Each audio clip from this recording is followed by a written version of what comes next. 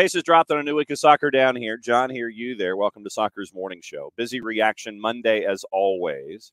Uh, Abe and or Garrett dropping by at 9.15 to discuss Atlanta United and Toronto FC, the 1-0 loss for uh, Atlanta United. In that one, there's plenty to talk about. Uh, the loss for Atlanta United uh, in that one.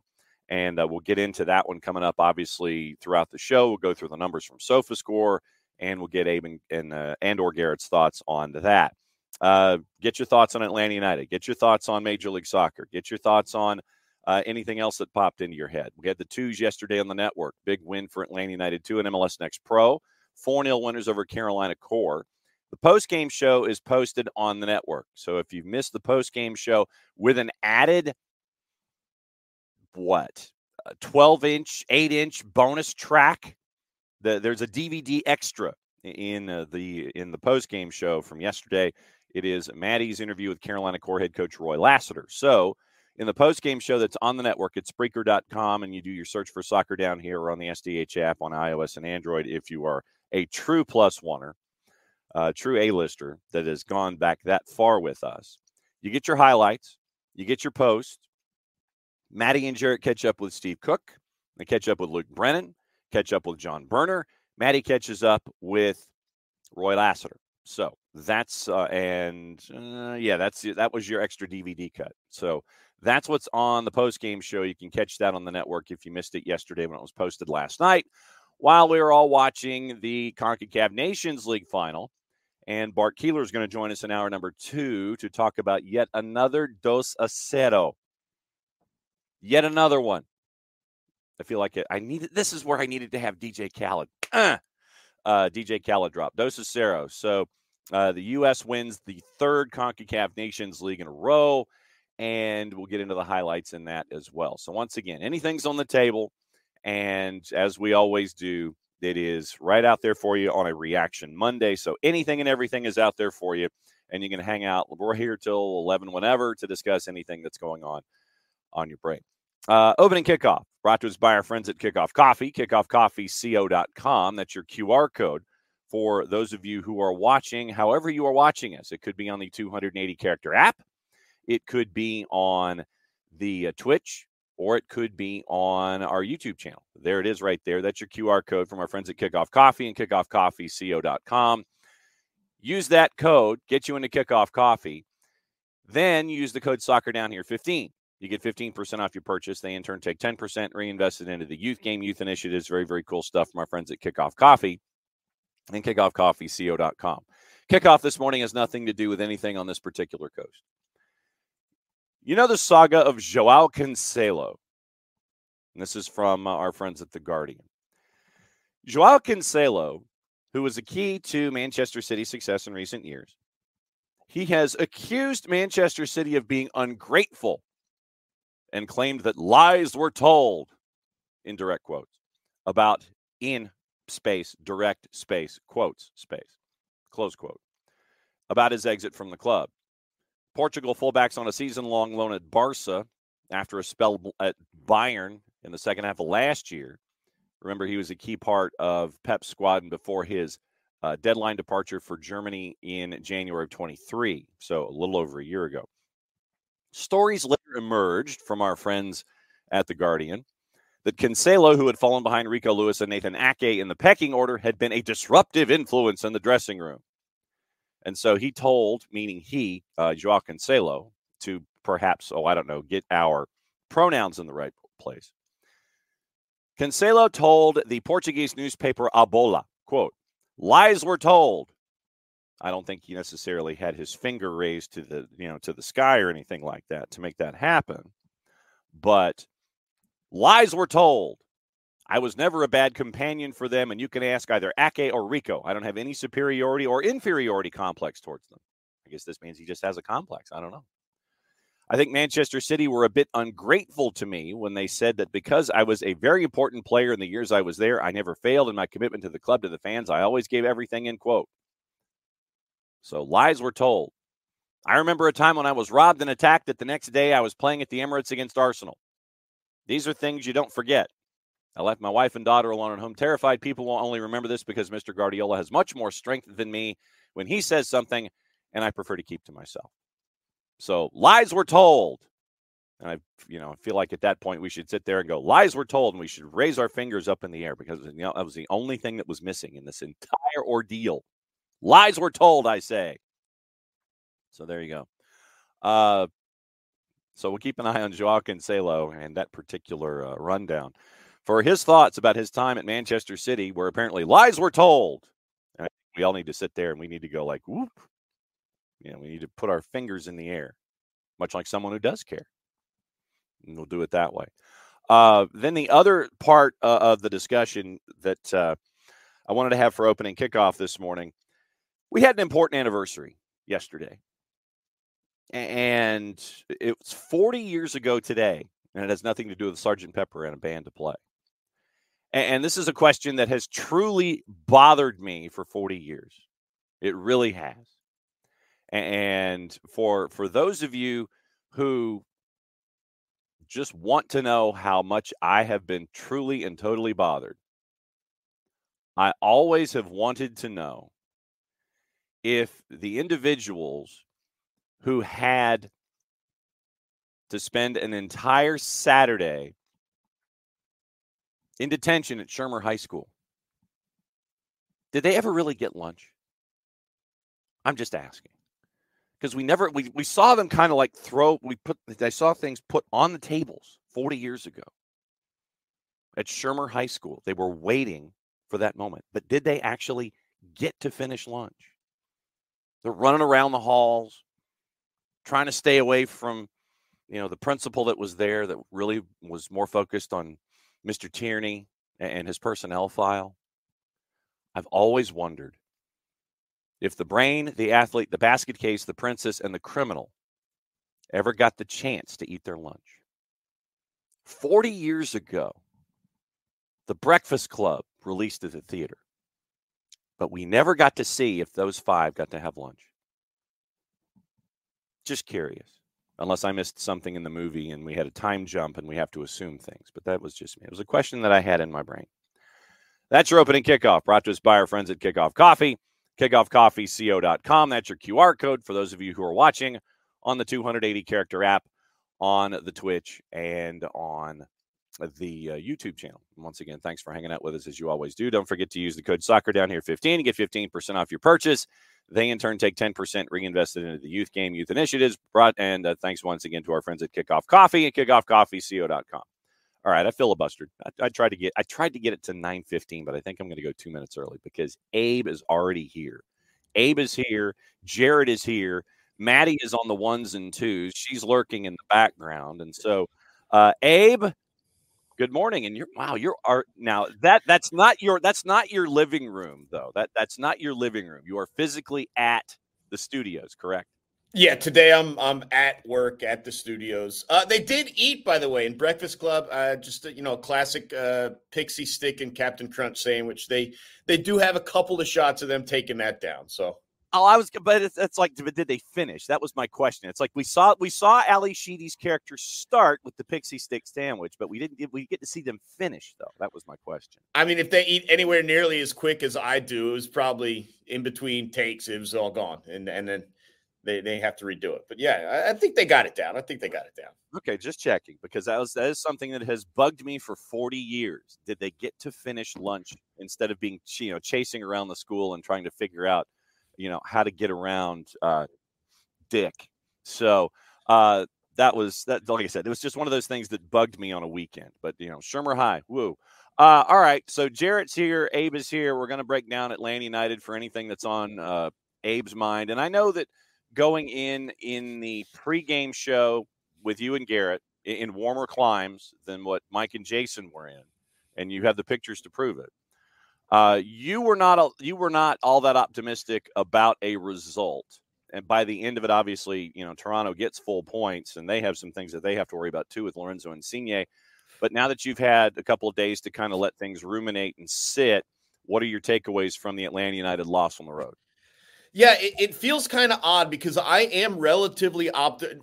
I'm actually normally pessimistic about most teams, but somehow that gets flipped for Atlanta United normally. But we've now had two games where I was projecting a, a situation where I was like, it's going to be incredibly difficult for them to get points. And, and look, they're going to go on the road most of the time this season. I'm going to say I think they can at least get a draw. Uh, I, I, just didn't see that against Columbus. You know, they're getting their rings, they're celebrating Cruz miss, all that stuff. Opening game, you, you Almada hadn't been with the team, all this stuff working against them. And then the second road game, right? And now you're going up to Toronto in the same situation to an extent. There's just so many things working against them. I just going to be incredibly tough. And I know Toronto was down almost as many players, although many of them due to injury and not uh, international duty, which I think is a different discussion to begin with, anyways. But I mean, you're you're talking about you're missing what I we said it safely, like two of the 15 best players in the MLS between Giakoumakis and Almada. Um, and, quite frankly, it's the entire spine of your team. It, it's the entire middle with Gregersen and Slisz and Almada uh, and Gigi. And, and so it was just going to be incredibly difficult for for them to go on the road in that environment and, and, get points. You know, we can have the discussion another day about whether the MLS needs to take a more serious look at at halting action during these international call up windows, stuff like that. But yeah, unfortunately, I was not optimistic, and uh, it, it, proved to be true. I don't think they played a, a, horrifically bad game. I know the stats maybe say otherwise. It was a very ugly game from a statistical perspective in terms of shots, shots on goal, XG, which is a nonsense stat, anyways, um, and stuff like that. But I, I do think we had some decent performances from guys we wanted to get a look at. Uh, specifically, I think Noah Cobb did okay. Uh, you know, we're talking about you know, uh, this coming game, and when is Cobb? Is he going to get more playing time? I thought he did okay. I, look, he wasn't pristine. He wasn't Stian Gregersen, but compared to what he's showed us last season to now this season, uh, a pretty big step forward for him in his development in his career.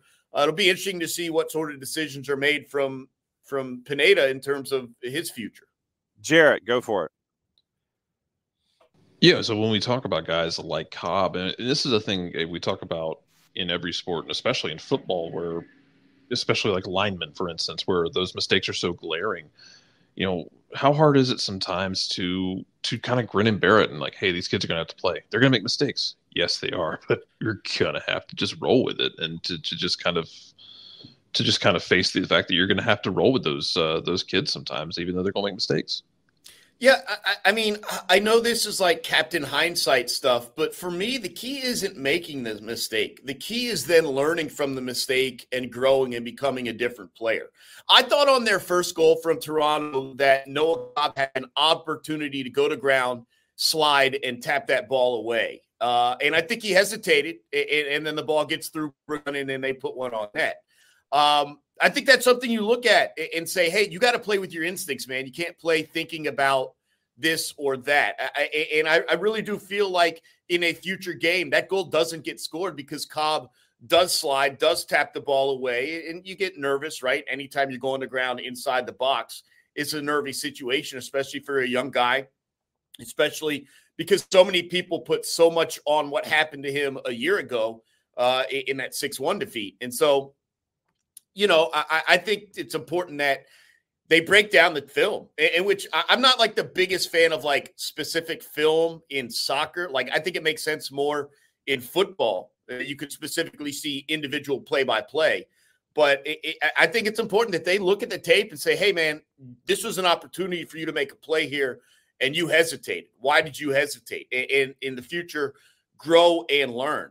And so, yes, these young guys are going to make mistakes, whether it's Firmino, whether it's Cobb, uh, up top, TRA as he looks to fill in, uh, even Tyler Wolff, uh, whoever, it may be, they're going to make mistakes, but they need to improve because they made mistakes. They need to grow and learn from those experiences. I think that's how you get better. Uh, I actually do think that was a pretty decent step forward for Cobb, uh, even in a loss the other day now for the the veterans that were there that were a part of the discussion one of the guys that i wanted to get your your thoughts on and jarrett you as well as saba lobjanidze and saba with a full training camp, obviously coming in in the summer window last year, gets that full training camp, has gone brunette.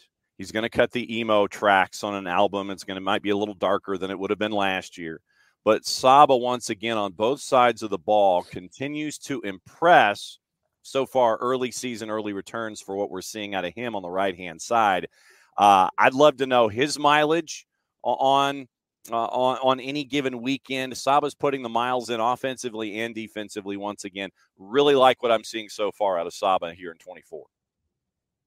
Yeah, it's interesting because I was a little disappointed in Saba against Toronto, and it's not necessarily his fault. He's asked to play a certain role, but when you have Almada and Giakoumakis out, I'm not relying on Firmino and Thiaré to step in and find the goals for your team. I think that Saba, as probably your third biggest weapon, I think he's got to find ways, and he's got to be a little bit selfish, and he's got to step up. And I know they kept him on the outside. They moved him more central later in the match due to some substitutions. But I needed him to be goal hunting. And, if his defensive uh, capacity has to suffer because of it, then so be it. But I, was looking for him to be a little bit more havoc causing uh, on on Saturday night. So I was a little bit disappointed just just personally because I thought if you were going to score, it was going to come from him, and obviously you didn't, and and it didn't.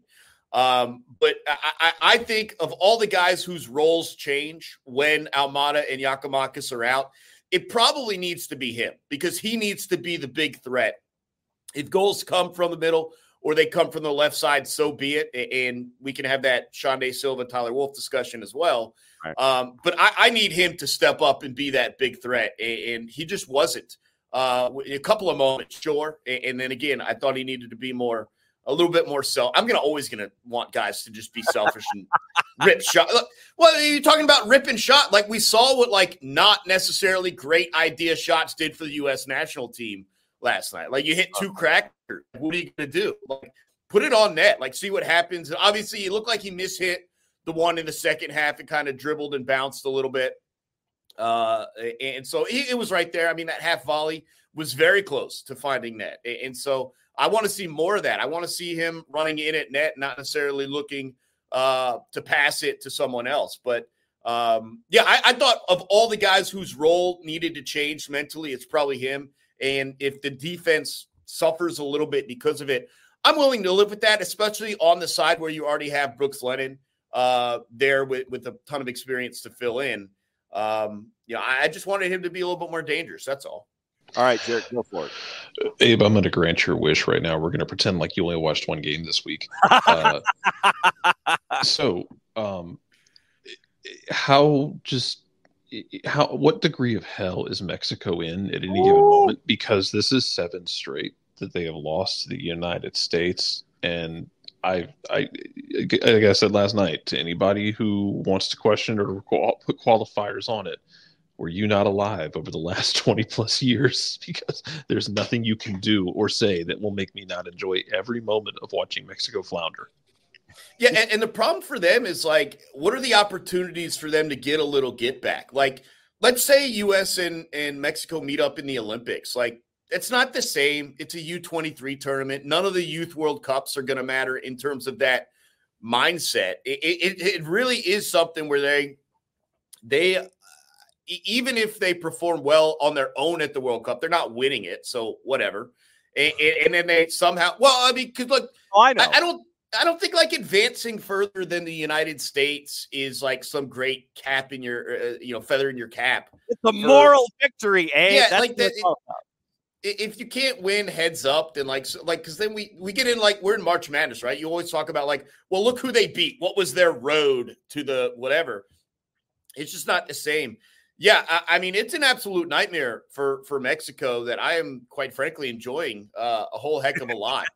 um, yeah, I, I, don't know. Like th- this was not a game I necessarily expected to win last night, just based on their performance uh, in the semifinal. If we're being dead honest, uh, and, and, so for them to take the lead the, the way they did, which is just, I mean, for, for Tyler Adams to come back in and and that's what he does. Um, and, also, like, I'm a little surprised Ochoa. I'll be honest. I thought Ochoa should have gotten to that ball.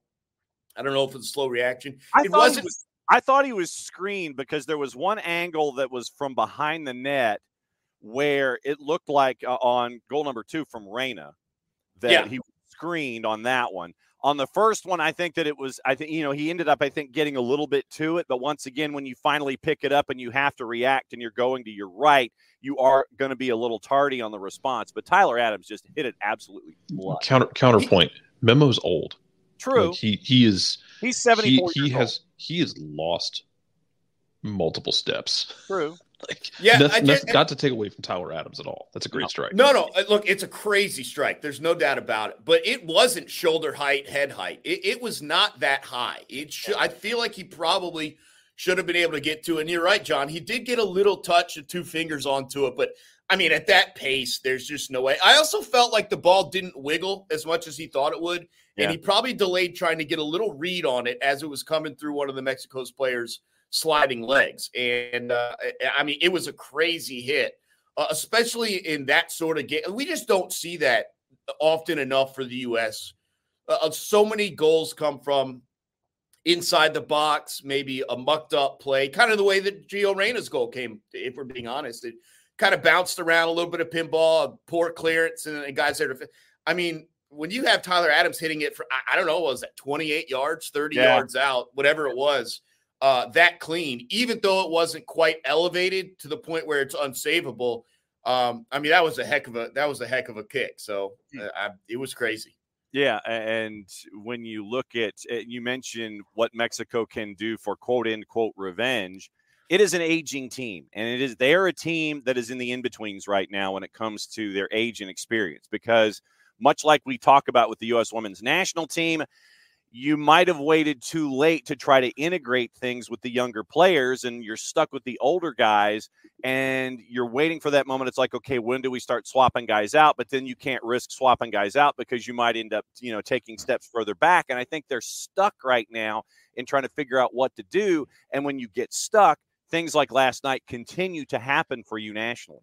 Yeah, I'm a big fan of the youth movement, and and it all has to be built around developing players not for the Nations League or not for the Gold Cup or even for Copa America. It all has to be about getting your team maximized for whenever the next World Cup is. A- a- And, I agree with you. I think they needed to go youth much earlier, uh, much much earlier. As soon as they are bounce out of last World Cup, you shouldn't be looking at all right what's what are the qual like you should be able to qualify with the youth movement. Mhm. you really should. A- a- and, you need to start bringing up young guys. Like like it'll be interesting to see where the us goes after the next world cup when you do have guys start to age themselves to the back end of their prime stuff like that. And you're like all right well you're kind of in your prime now but in four years are you still going to be in your prime? Because it all eventually has to be this team peaking whatever country it is for the world cup. Like like just winning Copa, winning the Gold Cup, winning Nations League. It's cool. It's all great stories, but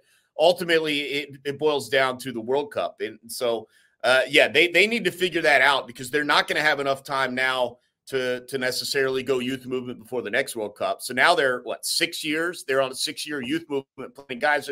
It's just so tough to develop that far out. But I, I, I'm, I'm always in favor of, all right, if you're, i- i- if if you're here now, like where are you going to be in four years? Where are you going to be in three years when the next World Cup rolls around?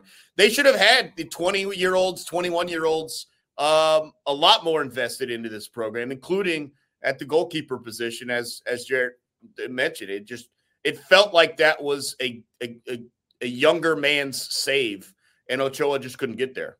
Maddie Cruz on the ones and twos is parachuted in. Maddie, what's on your mind? Well, first of all, a David, I'm offended. I have seen the Breakfast Club. Don't get it, don't get it wrong. I'm gonna get some soda. You guys talk. Listen, my my my parents were not monsters. They I watched it. It was really good. I also watched 16 Candles. Love 16 Candles. Very good movie. Anyway, I'm gonna quote um a little thing from John Green. 12,000 years from now, or when our civilization is a distant memory and there's a patch of synthetic leather buried deep under the millennia of sediment, there's a little piece of rotten plastic that will still remember being kicked by Tyler Adams.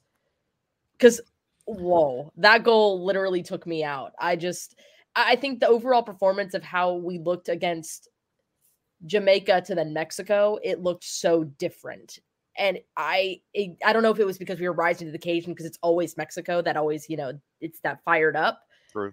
But you know it, it's it's strange. You know, you go against a team like Jamaica, you have that performance, and then you come into a team like Mexico, you got to learn from the mistakes. And I actually think that for like the, that Greg Berhalter and the whole squad did a very good job of adapting to that. Well, it, I mean, Abe, at least with uh, with Jamaica, you weren't playing Iceland Part Two. No, I, I oh, do think there was probably a mindset there um, against Jamaica that was a little bit look aheady, if we're being honest. And I think you, I don't know about you, like I feel like when you look at Concacaf and you look at who's dangerous, especially depending on where the game is being held, there was a previous regime in Jamaica that felt a lot more dangerous than the team now. Um, I think Canada is a team that screams danger to you now when they're healthy. Uh, that in previous eras maybe they didn't, and then obviously Mexico, uh, home or away. And I mean, you who decided to play that in Dallas? It may as well be an away game at that point.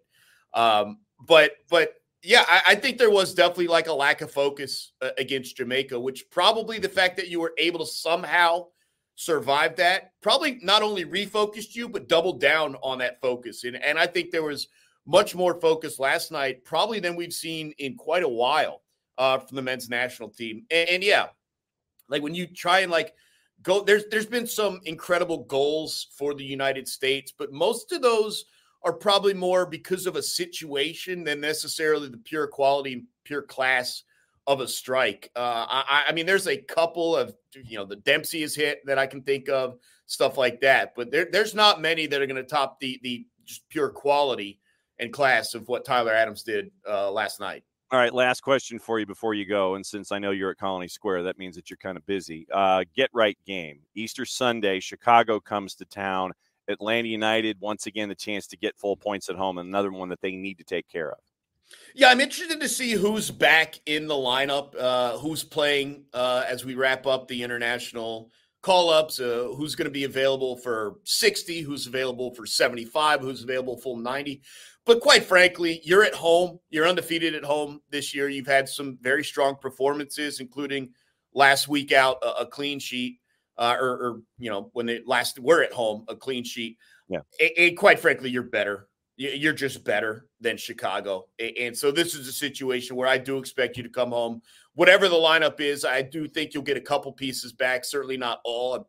I would assume Gregersen is still out uh, with that meniscus injury, but th- this is an opportunity, as you said, to to reestablish yourself and, and pull home the full three points. And I, I do think they will do that.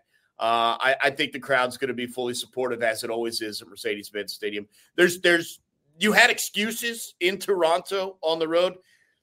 Whoever's in the lineup, there's no excuse for for not being able to beat uh, Chicago. So I, I I'm I'm pretty optimistic. We're back we're back on that side of things. Uh, luckily for me this week for Atlanta United. No doubt. As always, at Abe Gordon on the Twitters at 929 the game, the pre and the post with you and Garrett Chapman. And at some point, sir, no offense, but I am anticipating that you will be outside doing a show, if not both shows, because of the picture that you had in the climate controlled surroundings in Colony Square, and Mike and Jason were in like 20 degree weather. I'm fully anticipating a moment sometime. Well, the good news is if we're doing the shows outside, it's probably somewhere near Mercedes Benz Stadium. As we know, the weather here in Atlanta, not quite as devastating as what they were dealing with uh, up there in Toronto. It could get cold towards the back end of the season. Uh, who knows what part of the faux uh, seasonal wheel we're at right now. So, uh, but bring it on. The difference is I I am always dressed for for for the setup. I mean, when you have a dog like I do, you're checking the weather app and the radar like every 15 minutes to try and find those windows of well, you know, whatever that you need to walk the dog. So I'm yeah. I'm I'm always ready, whatever the occasion is, temperature wise. No doubt about it, brother. As always, great to have you on on Mondays. Be safe. We'll catch up with you again. Actually, we'll see you Easter Sunday for those of us that wander inside Mercedes Benz, and we will hear you a week from today. Thanks as always for hanging out on Mondays. Yeah, look forward. Hoping to uh, talk about three points next time instead of zero. You got it, brother. Thanks again. That's Abe, and uh, Abe is going to go get breakfast. I forgot to ask him what his mug was this. Morning. I am slipping, man. I, I am just absolutely slipping on what his mugs are. Uh, traditionally, when folks come to visit, I always want to know what the coffee mug is.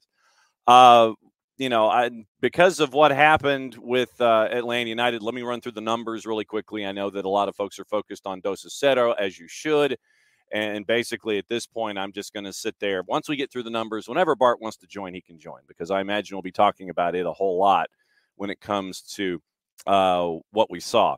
Uh, your starting lineup in the matchup, it was Brad and net. You had Ronald, Derrick, and Noah Cobb to go with Brooks Lennon at the back. And everybody, Brooks punched a 7.5, by the way, on the day.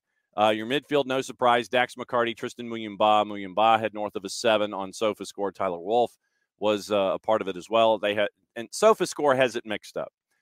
Apple had it mixed up in the graphic. SofaScore's got it mixed up in the graphic. They have it. They have Atlanta United in a three-four-three, which was not entirely correct. Traditionally, it's a four-three-three. But back line of Ronald, Derrick, Noah, and Brooks. Brooks had a seven point five. Midfield, Nicholas Firmino taking over in the ten role. He had a seven. Tristan Muyumba had a seven. Dax as your six had a six point five up top. Tyler Saba and Jamal Thiaré all in the mid sixes and your substitutions on the day for Atlanta United. Uh, Silva, Edwin Mosquera, Daniel Rios, who came in and gave you 15 minutes. So once again, the, uh, the the Edwin Mosquera philosophy of somebody with fresh legs, and you try to get him integrated, just like dude, go run, see what you can come up with.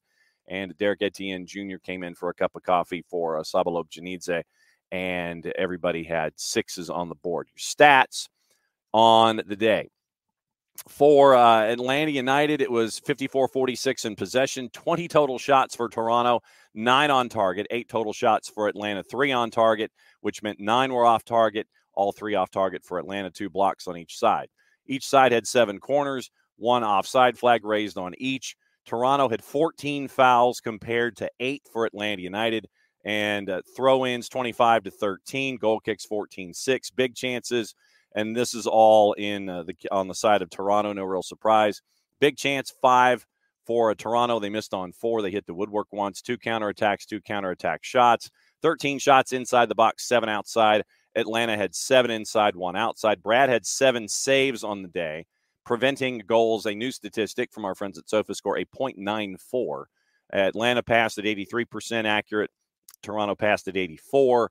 Long balls, 31 out of 67 for uh, 46%. Toronto had 36 out of 60 uh, for 60%.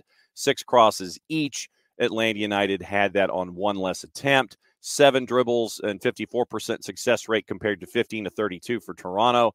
Duels won. Basically, it was 50.1% to 49 point uh, to 49.9, 50 at 55 out of 109 and aerial duels 17 out of the 27 won by Toronto. 24 tackles for Atlanta United compared to 14 for Toronto.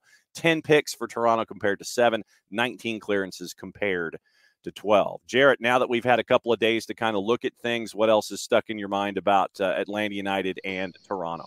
Uh, so you're missing a lot of people.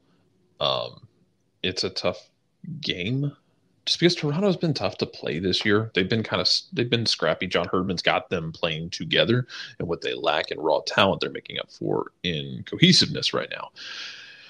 Um, look, the weather wasn't great, but as we have seen through many games this year and in previous years, when you have a an adverse condition game, one team's going to handle it better than the other. And Toronto handled that better than Atlanta. Both teams created some chances. Um, some quality is there's a delta in quality between those chances. Um, Toronto takes their snapshot chance in the first half to get their lead going at halftime. Um, you know, if Saba is able to wrap his foot around that that volley coming through the box, you know, maybe we're having a different conversation. But again, if frogs had wings, they wouldn't bump their ass when they jump. Correct. Um, yeah, you just you didn't. And in the second half, I mean, look, it's windy, it's cold, it's miserable, but Toronto coped with it better. And you have to tip your hat to them for doing that. Yes, you're missing guys. Um, you want to see what some of the rotated squad can give you but man, it's um, it's it's tough because it's one you're gonna want. I think it's one you I think it's one you do want to do again if you have a chance because you feel like you can do better with it. You can do better with the few chances you created. Um, but you also kind of have to get ready for this week now. And I said, it's tough. I mean, because the weather, yeah, the weather was tough. It wasn't super rainy. It wasn't super like snowy, but it's cold. The the wind. Go look at the the corner kicks. Both Oh. teams are hitting Oh. on the left side. I mean, that ball is just hanging up there. Mhm. But Toronto coped with it better, and you give them their flowers for that. You they had those moments where they got it right. Um, I think you could give a special shout though to, uh, I think you give a special shout to Brad Guzan though for this Mhm. game because man, Goose made some damn saves. Both goalkeeper, both goalkeepers for Atlanta did this week because John Burner for the twos was, uh, was gonna hang on to that clean sheet for dear life. yeah, he was. But man, Brad Guzan, I mean, look, the second goal happens because Brad makes a great save going low to his right. It's a bad height for him. He gets down, he makes it, he tries to push it away. You just have somebody there on the back post who's able to tap it in, and your defense doesn't react quickly enough. Slash, it doesn't fall fortuitously to one of them instead. Yeah. Um, yeah, man, Brad was really good in that game. Uh, he seemed like he was really pissing off Bernadeschi at the end of the game because he just wouldn't let him score. I was really happy with what Brad's giving you. And look, we are 18 months, give or take, from Yeah. his Achilles injury. Yeah. And I've really been impressed with him so far this year. And I think a lot of it is you're you are more than a year on from that injury. And I know Brad is very much long in the tooth. Um as far as goalkeepers go and as far as MLS players go by age, I think he's been outstanding this year because you brought in a guy to challenge him and he has risen to that challenge and in some cases gone above that challenge and I, you get you you you give him a pat on the back you give him the warmest seat on the bus with the seat warmer turned on Mhm. at the end of that game because he was outstanding. Now you have to compartmentalize that and you have to go beat chicago. I talked about the games you won were games you had to win because you were at home against teams that were exhausted. Yep. um a little bit to abe's point this is one where it sucks and it's, it's an entirely different conversation we can have and i feel like we have every year about the way mls does the international windows and plays through them.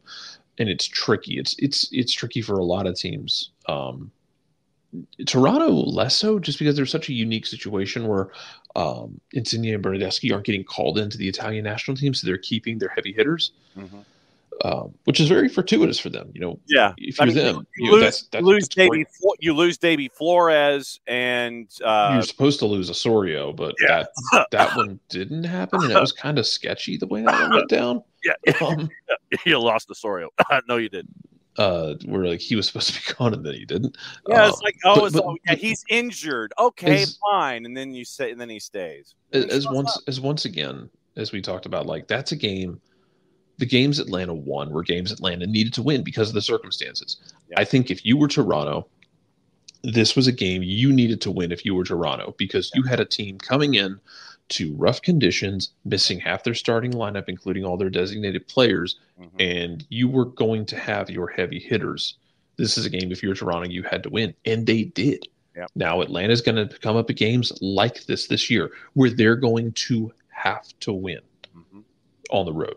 Yep. and they're just going to have to do it. Or they're going to be a situation where oh, the home team has to win this game, and Atlanta's coming to town, and Atlanta's going to have to pull that upset because every team goes through that, and you're going to go through those situations on the road where it's going to be tough and No you're going to have to overcome it. We'll see if they we'll see how they do this year because not every game is going to be uh Christmas and not every game is going to be uh you know forging the Northwest Passage trying to find the Pacific Ocean The Donner Party. through a through a shipping lane. Yeah. But yeah, it's it's it's not great. Um but you got to bury it now because you have Chicago coming to town. It's going to be a tricky game. Yeah, I mean Chicago's got issues at left back. Chase Gasper had to be subbed as a sub uh, in the, the match this weekend. Big time is because Atlanta spends a bunch of money on their roster and they've got guys who are part of international teams. Hell, you had like Stian Gregersen's been a part of the Norwegian national team picture before. Yeah. Wasn't gone. Um, you know, Tyler Wolff had been part of the youth national team setup uh, as recently as last year. He wasn't gone. Um, you had man, it like imagine if Brooks got called into the U.S. national team picture, Oh, which Brooks is like he's doing everything he can to get called into the to that national team picture. Like it's something it could. I feel like it could have been worse. Like imagine if they'd called Saba into Georgia. Yeah, It could have been worse. yeah. But yeah, Yeah. when you spend the money, when you're like spending like this, um, it's just Mm-hmm. It's Oh, yeah. it's it's that's one of the side effects is you're going to have people disappearing in the window, and then when you play through that window, um, you know it gets tough, and not even just a talent wise, but uh, you know I think uh, chemistry wise. Yeah, that's Um, too. Definitely, Yeah, definitely. I'd love to ask those guys how their feet felt because there's a lot of touches, not even just for Atlanta, for Toronto as well. Mhm. There's a lot of touches in that game where it looked like it looked like they couldn't feel their feet. Yeah. Where like they were mishitting the strength on the the the the, the power on passes, or even when they were receiving passes, like heavy first touch, thump off the foot, like it's hitting a log Correct. it, th- I would be very interested to like hear what they said. Like, hey, how do your feet feel? Like, does does Toronto warm the? Do they have warmers under the field? Because some of y'all looked like you couldn't feel your feet Yeah. when you were receiving the ball. It was a minor miracle that um, it was a minor miracle that nobody's feet just fell off when the ball hit it. Exactly. Uh, Maddie Cruz, now that you've had a couple days to kind of let uh, Atlanta United and Toronto ruminate, what else is on your mind? I mean, yeah, I mean, it's one of those things where it's hard to balance because of how, you know, you're missing seven players. You're missing some of your very key players to your squad. Yeah. And it's also like, oh, well, you have all of these young developed players who can do the job and who have done the job in the past. Um, I mean, honestly, just from looking the match overall, I didn't. Th- I think it was very difficult for us to connect. Like it was very difficult for us to create chances, and when we did, it was miscommunication on the field. No one was really talking to each other or even anything like that. It felt very disjointed to me when I was watching it. And so it, it was hard. And, you know, it, it's just, it, it's difficult to grasp. Um, one thing I don't like, though, is I don't like that. I, I saw somewhere, I don't like that people are like trying to pin it all on the players we brought up from the twos because Yeah. I'm like, I'm like, no, I'm like, no, no, no, no. Like those players are phenomenal. They are pros. I mean, hence literally Efrain Morales, Matt Edwards, and Luke Brennan all literally playing a full 90 minutes almost yesterday and won 4 0. I'm like, we have the talent. It was just it's it's unforeseen circumstances. You know, the weather played a big factor in it too. Um I, I I thought it was either going to be a draw or a, or a loss against Toronto. Um, but I mean, all, all hats off to Toronto. They played really great. Um, I'm I'm hoping that Insigne uh, gets better though, because that that that injury it does suck, and I I hope that they get that figured out. Yeah, we don't know what the official word is. It, it looked like he was, you know, grabbing his right hamstring. He was having problems leaving the field, and you know, we don't know right now what the extent of that injury is for uh, for Insigne. We'll keep an eye on that. Bart Keeler joining us top of the hour to break down uh, another Dos a Cero, and we got highlights to go through with that. Also, yesterday, uh, Atlanta United two. Maddie mentioned it and we were all there. And uh, the match is available on our Mixlr channel at soccerdownhere.mixlr.com. You can go back and listen to the extravaganza that was Atlanta United and the 4 0 win over Carolina Core. Carolina Core had played in the Open Cup in midweek against Bill Hamid. I did not see the match. Uh, I do know it was a five goal thriller, it was a 3 2 final. And uh, I do not Bill. Hamid gave up a really weird deflected goal that was genuinely hilarious. Um, I'm shocked. I have I have been uh, I have been like grumpy about Bill Hamid for a long time ever, and this some of this goes back to like the cons, excuse me, the concept of the GK Union Yeah, because goalkeepers are very weird human beings, um, they are. and they there is like a fraternity of goalkeepers, and like I've been kind of salty about Bill Hamid since he just publicly s- slammed Guzan Yeah. about like I've I've that that's like in in a weird situation of being a goalkeeper. That's all that one always bothered me because he just publicly just slammed a fellow goalkeeper, fellow national team goalkeeper, and Yes. like it, it didn't help that Bill Hamid never really I'm did anything after that. Yeah. never really did anything after that. Um, it was very odd. hmm It was.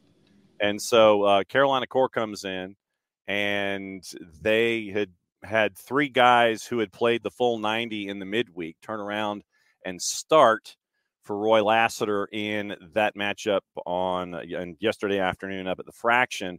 Luke Brennan had a very busy day. Here's goal number one from the network, courtesy of us, Jason on the call. Surveying his options outside of the foot pass over to Gajardo on the left flank. Gajardo inside to Russo. Russo.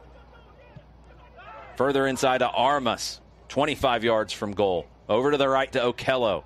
Patience here from Atlanta United, too. Back to Armas. Armas. Short cross. Volleyed in. Goal! Goal! Goal! Atlanta United 2. Luke Brennan.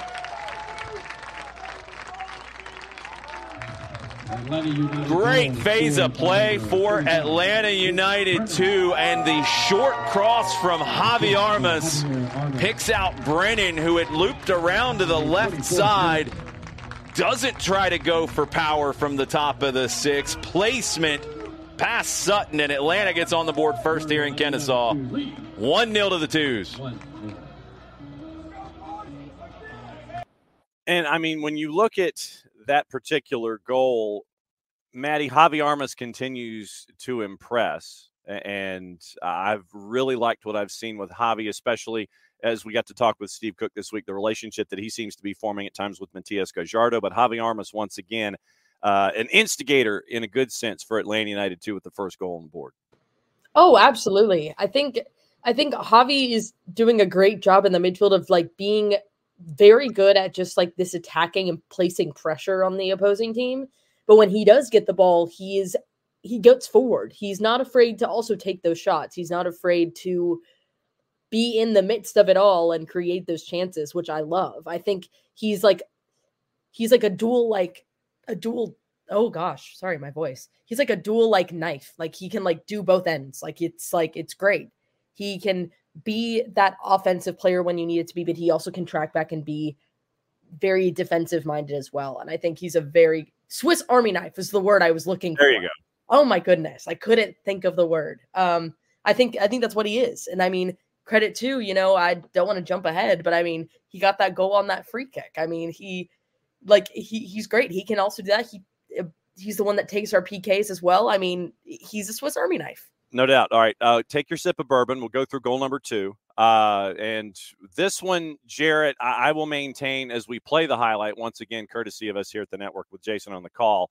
I'm going to play the goal and basically say, I ain't never seen nothing like this. Edwards drives it across to Gajardo, chests it down. Gajardo in the middle, third in his own half, forward to Okello, back to Gajardo, into the attacking half now. Russo. Sliding challenge, a good one from Christian Diaz. Atlanta throw. Russo takes it quickly, too quickly. Didn't get that in. The referee, the AR, they're looking at each other. That shouldn't be still be going. Atlanta takes advantage. Luke Brennan, another goal. Goal, goal, goal. Atlanta United 2. The referees got that one wrong, and we'll see if they correct it here. They're going to allow it. Atlanta United 2 gets the goal. Atlanta tried to take the throw quickly. I'll try to make sense of this. Russo throws it in. It bounces on the outside of the field and then goes in. Atlanta keeps playing because there's no whistle. And Atlanta United 2 gets the goal. A second from Brennan. 2 0. The referee kept looking back at the AR on the near side. The ball bounced outside of the field of play. I don't think I've ever seen that. Nope. I ain't never seen it. Jarrett, have you ever seen it? No, it was incorrect. Uh, yeah. That's the bottom line. Like, look, Atlanta took advantage of it. And um, Atlanta were better on the day. The twos were better on the day. Yes. Um, still incorrect, but yes. you, it's one of those where you play, you play to the whistle. Um, yeah, man, they took advantage. They made it happen. It was very, um, it was very weird. Mm-hmm. Luke Brennan scored two very weird goals in this game, but I, I think like the second one I, for me was more impressive in the sense that like the first one he's like he's trying to get placement on that ball coming in from that early cross, but the second one is that ball's kind of bouncing in the box. He creates a half of inch of space for himself, and then he doesn't try and rip it, but he kind of gets it on the half volley, gets his gets his body over it, and then just drives it, but gets the technique right so that there's still some force behind it and puts in the side netting. And it's it's it's great technique from Luke Brennan. Yep, cool hand Luke with a brace, his first two on the season, and that made it 2 0. Atlanta United 2 was not done in the first half. The pre mentioned uh, Javier Armas from about 20, goal number three here on the SDH network. Armas and Gajardo standing over it. Whistle blown. Four man wall for Carolina. Armas. Goal! Goal! Goal! Javier Armas. Free kick golazo from Javi. 3 0 Atlanta United 2.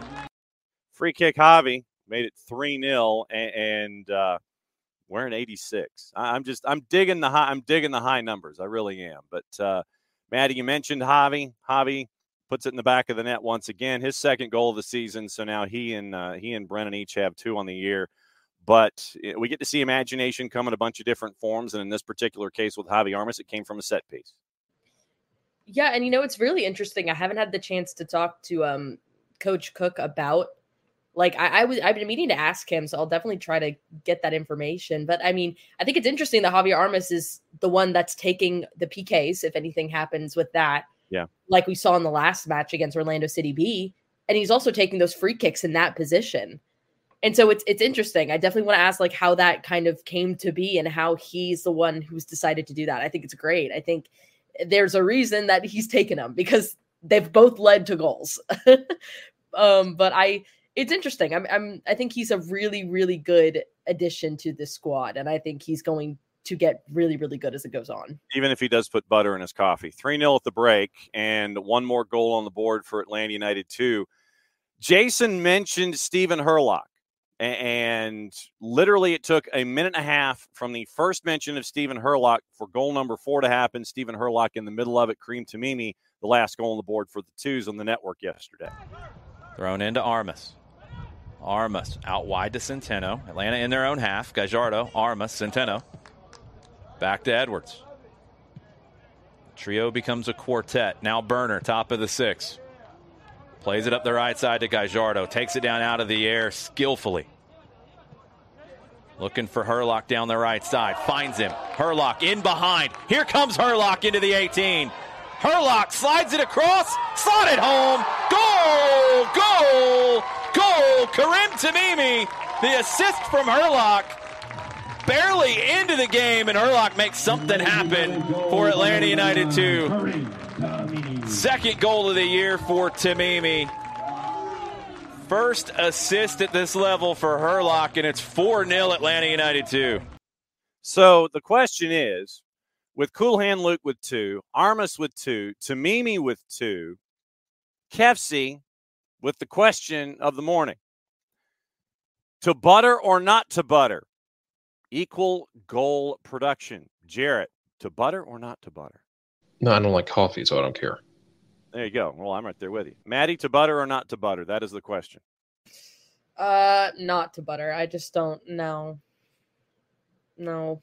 uh, so then now Hutch with the excellent question. Do we call Javi Armas Agent 86? I like Ooh, that. I like, I like that too. I like that. Hutch reminds us that 86 was uh, Maxwell Smart's uh, Maxwell Smart's spy number. Missed it by that much. I'm going to have to get that drop now. Uh, anything involving Maxwell Smart. So we're going to have to call Javi Armas Agent 86, I think, until further notice. Uh, but yeah, I think KFC here on the show at least. I don't know about the Twitch pitch, and the Twitch pitch can can uh, respond as they wish.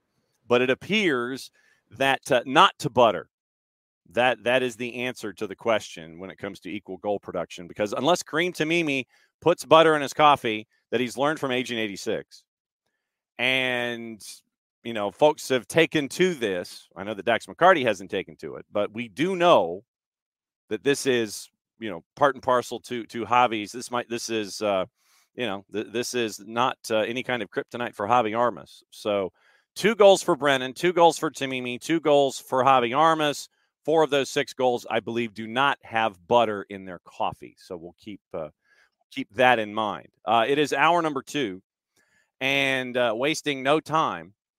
Uh, yes, the yes, Michael, that is correct. Uh, the answer is no, no, no butter in your coffee.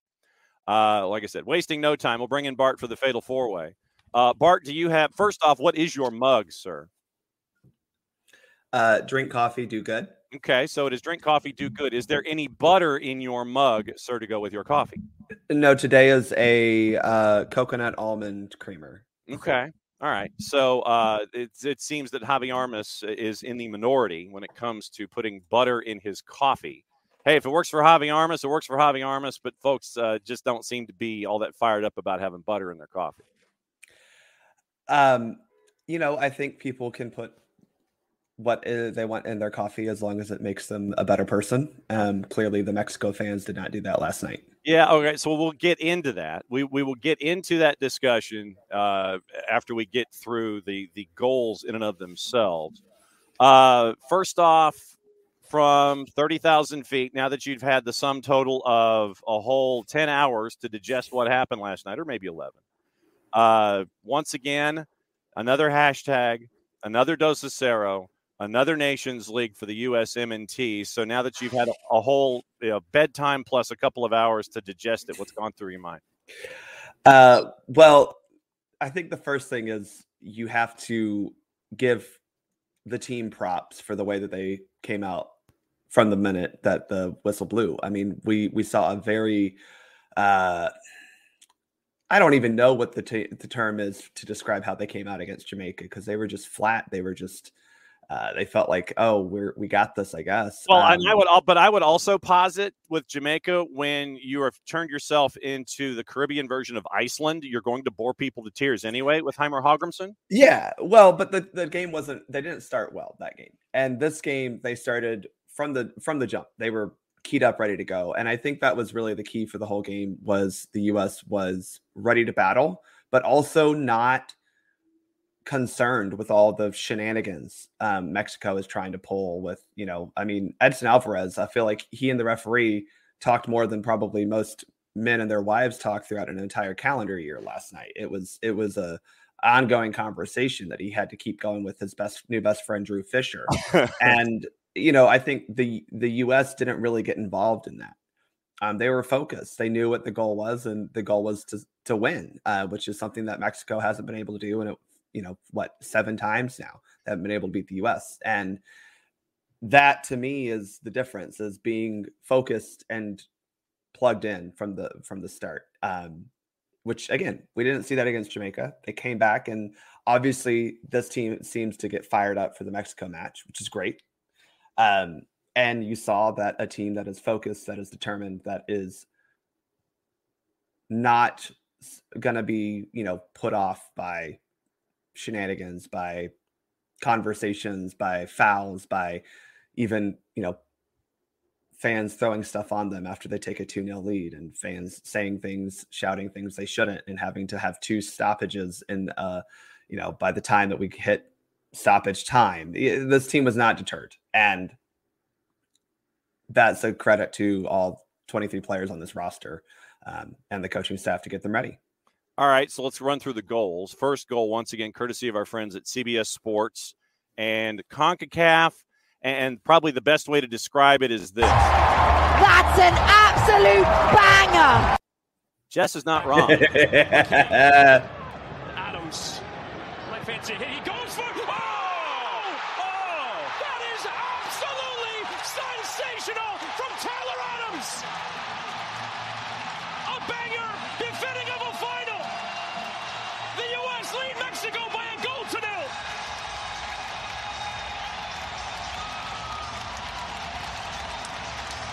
Tyler Adams from downtown Arlington puts his foot through the middle of this one. Nobody closing him down. Nobody expecting him to shoot. Nobody thinking Tyler Adams had this one in his bag. And what an absolute banger. This play almost looks like it's just going to continue right here. They're going to work this ball around. Tyler Adams, nobody closing him, has one thing on his mind, and oh my, does he get through the middle of it to put the U.S. up 1 0. Tyler Adams is back. hadn't started for the U.S. in 475 days and produces that. Chris Wittingham, Tony Meola on the call on uh, Paramount Plus, CBS Sports, and our friends from CONCACAF. See, now this is what happens when you, you let people sit there and give you the right lead in because it was. That's an absolute banger. And you had uh, Wittingham and Meola mention it, I think, a good solid three times. They were just listening to Jess. That's the bottom line here. now, the, now looking at the replay, the precision. Well, first and foremost, he hit it about as purely as you possibly could. Mexico gave him entirely too much Mhm. room and too much time to set up the shot from 30. Then you have it go through the scissored legs of a defender on the way there, and it gets past Memo Ochoa for 1 0. Tyler Adams, minutes restriction. I'm hoping Andoni Iraola was not mad number of minutes that uh, Greg Berhalter played him this weekend, but Tyler Adams came out strong and hit an absolute rocket for the first goal of the match. Well, and it was a good uh, example of kind of recycling a set piece opportunity. And that's something that this US team still needs to improve on is maximizing set piece opportunities.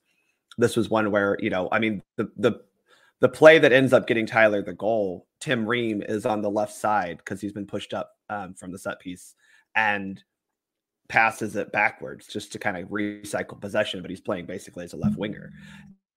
And that kind of ability to reset and still utilize the momentum you have from a set piece is important, um, especially if you're going to play teams like, you know, Uruguay or better this summer. You're going to have to stay locked in, stay, uh, keep the momentum from those types of uh, advantages that you're creating through set pieces.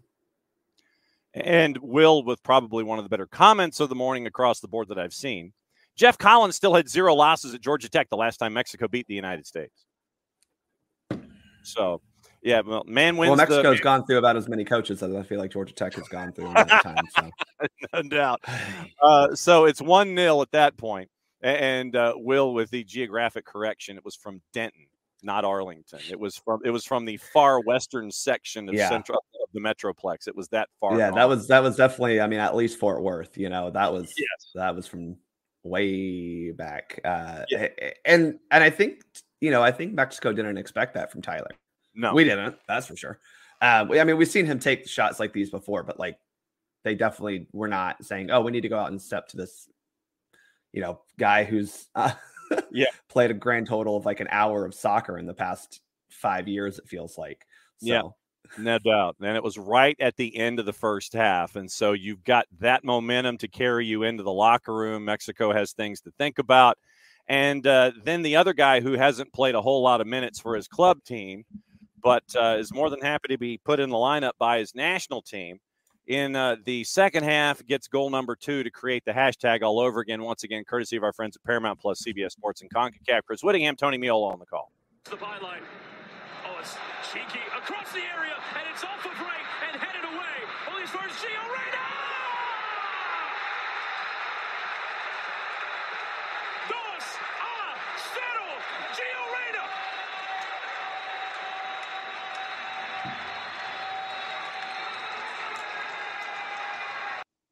And so there you go. Once again, two on the board for the United States. They would go on to win it 2 0. And before we get into the, the latter stages, shenanigans, and all of that discussion, because yes, once again, we have to discuss it, but for the reason of the chant being brought out, not because of what it traditionally is attached to. There is something else that's attached to it now when it comes to uh, the weaponizing of that particular chant. But Gio Reyna, who with the minutes that he played, once he cleared minute number, once he cleared the 84th minute of the Jamaica match, he has played, he had played more minutes for his national team than he has for his current club team in the entire time that he's been at Nottingham Mhm. Forest. Doing well under Greg Berhalter in the USMNT. Well, you know, I think there's been a lot of conversation around Gio, uh, rightfully so, for a lot of things that Gio can control and a lot of things that Gio can't control. Correct. And you know, the the, the discussion has always been uh, or was at least before this tournament, and seems to be almost every time Gio comes into camp, is how how many minutes can he give you? How fit is he actually? All these things, and you know, I think there's a reason why he didn't start the Jamaica game. I truly do. It, it I'm not saying that he's unfit. It's just it. I I don't understand how a fully fit Gio Reyna would not be your starter, right? That's and I don't think that Greg Berhalter is that stupid of a coach to not start your best attacking player if he's fully fit. So the fact that he was able to be in the lineup tonight is uh, important for the U.S. national team because if he is able to start, you're a better team. If he is on the field, you're a better team. He makes coaches look great. He makes other players look great. He makes defenders look foolish. He makes a aging Memo Ochoa look like he doesn't know how to play goalkeeper again. he really is the difference maker. Um, you know, I hate that it seems like we have to have him on the field for us to be any sort of creative attacking threat, but he, if he is fit, has to be the starter, and he proved that again. Um, and that goal was another like he had a slightly different role last night, which was a little bit deeper. And that seemed, you know, I saw some people on Twitter complaining about that, but you know, I think the goal was to try to get Gio on the ball as much as possible. And you saw that he didn't quite get forward a whole lot, but the couple times he did, this is one of them, you know, we get a goal out of it. And it was a late arriving run into the box, if you will. You know, not quite the same, but you know, he wasn't in the box when the initial cross from Pooley came in. Uh, that kind of gets cleared, and he sees an opportunity and pounces on it. And it's nice to see from Gio that he doesn't have to do all the dirty work to score a goal. He was able to just be right there, say, "Oh, this is mine. I'm taking it." Um, after Pulisic did all the dirty work and cut up a few Mexican defenders and uh, caused the chaos that ensued. Uh, like I said, I do want to get into the Mexican national team as a as a group and the chant late in the match. Uh, but you know, once again, Gio playing a bit of a deeper role, helping Mm-hmm. things out defensively, and then helping the build up from further Mm-hmm. back instead of being, you know, frontline Gio, where it's like, okay, you know, feed me, feed me, feed me. I'm going to be up here with the rest of the guys. Gio played that deeper role last night and was a part of the build up, which was integral in there too. Yeah. I mean, this is one of those things that I think most people have. eh, Like, if you want to actually criticize Greg about tactics, this is a tactical thing that Greg does every single time. And the fullbacks are pushed really high up the field, which means that your two eights have to come back to help and build up. Um, you know, whether or not you agree with that or not is to be discussed. Um, we saw the flaws of that against Jamaica, but you see how that can help you against a team like Mexico, who is willing to actually kind of come out of their shell, try to press you, try to get you know the ball higher up the field, and with Gio able to not just find passes but beat players on the dribble, which he did a lot last night as well. That does, especially again against a team like Mexico, um, it it eliminates those players, and now you're running toward goal with a bunch of players coming with you, and so that is you know Gio's forte is just being able to get by defenders. Um, and you add to that, you know, a little bit of the Weston McKennie factor of um, the two of them being able to play slightly different roles than they're no, used to for the U.S. national team. Um, that's pretty awesome, you know, and it's good versatility to see. And Gio put in a great shift, and you know, I think again, it's it's wonderful to see how Gio can play for this national team, especially after where uh where we were what 18 months ago with him. Um it- it's nice to see the growth that he has had personally and unfortunately his club situation hasn't improved and um hopefully he can find a way to make that a little bit better this summer. Yeah, if Nuno, if Nuno, if Nuno ain't playing, then something's not right. Uh, Maddie for uh, Bart, go. I know that we've talked about all the good things that came out of that game. I feel like we kind of have to get into the Oh, no the doubt. stupidity down here that was Question. ensued. Yeah. I my question to you, obviously, I know it's a bit different because I don't think you've ever had to deal with this as a ref. But with that being said, you know, you have the steps, the actions taken. You did it. It went on for a little bit, no stoppage. Finally, we got a stoppage. It was a couple minutes. Then they went back to it. Still continued another stoppage. It doesn't seem like this step is working. I mean, what like how do we combat it because the only way i can think of is to find the hell out of mexico Well, Yeah, I mean, I think you're you just hit the nail on the head. Like this this particular protocol isn't working because Mexico has figured out that they can just do it whenever they're losing because they're the worst losers of any sports fandom ever. They start fights, they throw batteries, they throw urine, they throw punches, they throw beer, they throw, you know, everything imaginable at fans of the opposing team, at players. Um, and they continue to do childish, pathetic behavior. People who do not respect other humans clearly because they think that this is just funny. And we're not talking just about the chant, we're talking about everything else that goes on with it. I mean, people are leaving the stadium bloody because Mexico fans can't handle the fact that their team is trash, their team is finished, they have zero good talent, and they can't beat the US national team. And they're starting fights in the stands on top of everything else. So the answer is to me, no Mexico involved, no fans allowed at tournaments like this. I'm sorry. You have proven that you can't do this in adult manners. So stay your butts at home because y'all don't deserve it. Sorry. Um, eh, you know, but Jorge, what is a points deduction going to do for for what? What points? What competition are they getting points deductions for? We ain't got none of those. What you going to take points away from them in Nations League? Like I, I forfeit, sure, but like again, in what capacity? Because we're done with Nations League. You know, is it next Nations Leagues they're getting points deduction? I, I, I just, I, I don't. That doesn't make sense in a international competition. They don't have World Cup qualifiers coming up though. That's the problem. They don't have World Cup qualifiers coming up. They have automatically qualified. Yeah. To 2026.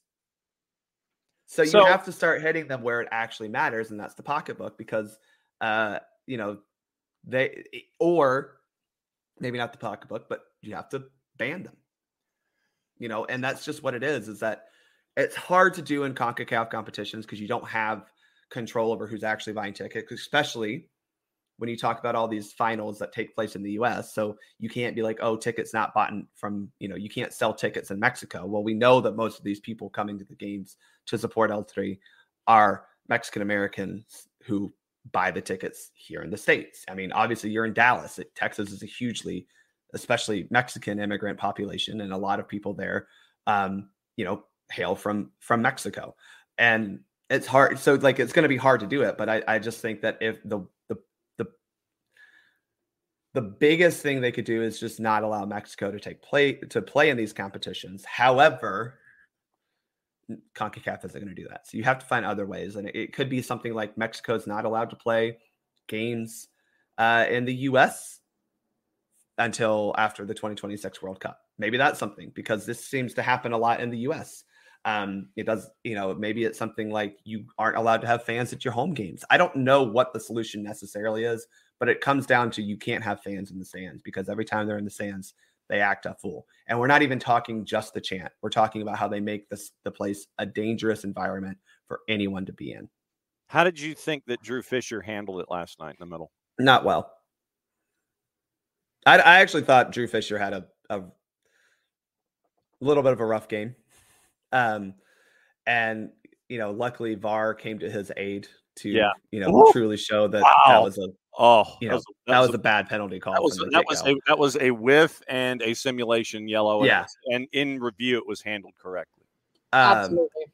I, I thought he struggled last night, um, which is weird for him because I thought he would be he made the most sense of the you know the referee to to take on this match, um, but I think in this particular case, I I don't think that head the the center referee is actually the one making these types of calls. If that makes sense. I mean, again, I think we had this conversation with the Women's Gold Cup about how you know the center ref was saying, "Hey, this field sucks. What are we doing?" And the Concacaf people were like, "Well, we're still playing." Yeah, you look at the match Um, coordinator, and the match coordinator's like, yeah, yes, yeah. Yeah. So I don't think that Drew Fischer is the only person making these decisions. He is just the person who stops the game. Um, and and that to me is again one of the problems that it doesn't seem like the referee has full autonomy to you know maybe they do but i'm sure that there are briefings that say okay well we say this but this is actually the protocol and it probably has a lot to do with you know concacaf officials telling him, "Hey, we got to stop the match." They did the thing again. Okay, so for those that don't know the the the protocol, it's a three step it's a three step process. First step is announcement over PA. You stop the you stop the match, and that is and you saw the announcement on uh, the Jerrytron where after the second instance of it, where I thought that Drew had stopped the match once before and had gone to step one when he did not. The second instance on television created step number one. You see the warning on the Jerrytron, the players are standing in the middle of the pitch. Step number two is that the center ref pulls the players, game goes into a delay. Third step is the forfeiting of the match. What we are seeing in the the fans of El Tri is the weaponization of a chant, Bart, Yes. to the point that you that you were saying it is not attached to its first focus that it was brought into uh, brought into the the purview of the delays and the steps and and removals from matches. It is now turned into a weapon by fans of El Tri when their team is losing. Mhm. And that that is where this has gone. It has gone from being number one reason for the chant, number one reason for the implementation of the three-step process to fans being mad and now using that chant as a weapon against the match itself and a weapon against their own club. Yeah. Bart, to Yeah, you. and again, they're they're petulant children who can't accept the fact that they're not good anymore. and you know, the- th- that's th- that's what it is. They're spoiled little brats who can't handle the fact that we're better than them and consistently proving it. The fact that they can't even get over, you know, the fact that we've beaten them, you know, seven times in a row. They can't freaking even score a goal on us. You know, it's been cue the meme. It's been 83 years, uh, you know, before since Mexico scored a goal on the U.S. It feels like, and and I think the problem is the process and this protocol just doesn't work and CONCACAF needs to find a better solution um, because clearly, once you get into the game, you're not stopping the game. Please stop. We're not doing this, well, and but- especially for a crowd thing. This works. To Maddie's question earlier about like how do you deal with this as a referee? You can't. You can't. You can deal with this if players do something. Um, you can do this maybe at my level. If a parent says something bad, I can be like, "You're out of here." But at the uh, with what I mean, how many people does Jerry Rolls hold? You know, eighty Well, to hundred thousand people. I know it wasn't fully holds- full last night. it had 60 last night. It holds 100 in the building, and you can have 110 on the pro- on the property. You got sixty thousand people. There's no way that a referee can control that. Stop. That's that's absolutely not going to happen. Right? We're we're look at this level. You're just lucky you control the twenty two people on the field, let alone you know the people on the benches. So I- I think it's insane to even try to put this on the referee. Um, and I think the problem has to be keeping these people from the, the solution has to be keeping these people from being in the stadium because once they get in there, that's where the problems come. So then let me ask you this though. When it comes to minutes added, it is referee's discretion Mhm. about adding full minutes. True? If you sit there and say, you know, hey, there's six on the clock, can't you call it and sit there and it's like, nope, we're done? Well, I mean, you could yes, yes, and no. I mean, in this case, you could say no, we're done. You we've reached step, you know, at whatever we were at twenty seven because I don't think we actually we went one, two, one, two, one, zero, one, zero, three. Like you know that, that we kind of jumped around the processes. Um, he could have easily said no, we're done. Especially after the second time when we stopped the match, he could have just been like, "Mm, yeah. but no, you're not gonna. Once you say six minutes, you're not really supposed to go down from that. Let's just put it that way. Like, Well, then, but then, can- but then let me. But it, considering what we were in in that protocol, could you not have sat there and if like, he, he could have and said we're done because of this. Like Yeah. he could have like done this thingy and been like, Yeah. you know, we're done. Yeah. But again, he's not the one fully making these decisions. Yeah. Um, Drew Fischer is not acting alone. He is enacting orders given to him by CONCACAF. He's not acting alone. Um, let's talk about El Tri for a second. And, and this was the point that I made in uh, hour number one when Abe Gordon was on.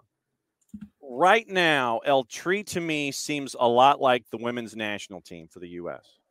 where you have veteran players and for whatever reason you you might have young players we don't really know because they're not getting minutes and you're stunting the growth of your program with these veterans that you have and you're not getting the results because you have these veterans but you think you need to have the veterans to get the results that you're chasing. It seems like el Tri on the men's side is stuck in a hell of a catch 22 right now and they don't want to take that step to play the younger players to develop their game forward and you continue to have results deep in tournaments like you had last night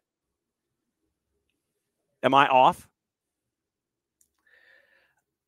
Um, well, yes, because the U.S. women have won four World Cups Okay. and had an unprecedented stretch of success. And I think um, both teams are definitely in a down generation. Mhm. Um, I don't know if it's particularly analogous, but I, I see what you're saying there. Yeah. Um, I just think for Mexico, their problem is they're not developing a lot of young talent. I, I genuinely think that's the problem. I think there's also issues with Liga MX pricing players a lot high. We know that their market internally is way inflated. kind of like MLS premier is- league with intra-team deals yeah Yeah. Which, by the way, MLS needs to be careful with this because, as we saw with Miles Robinson, clearly he's not worth here what he's worth in Europe. I mean, that's what it comes down to: is those players are worth more in Mexico than they are in Europe, right?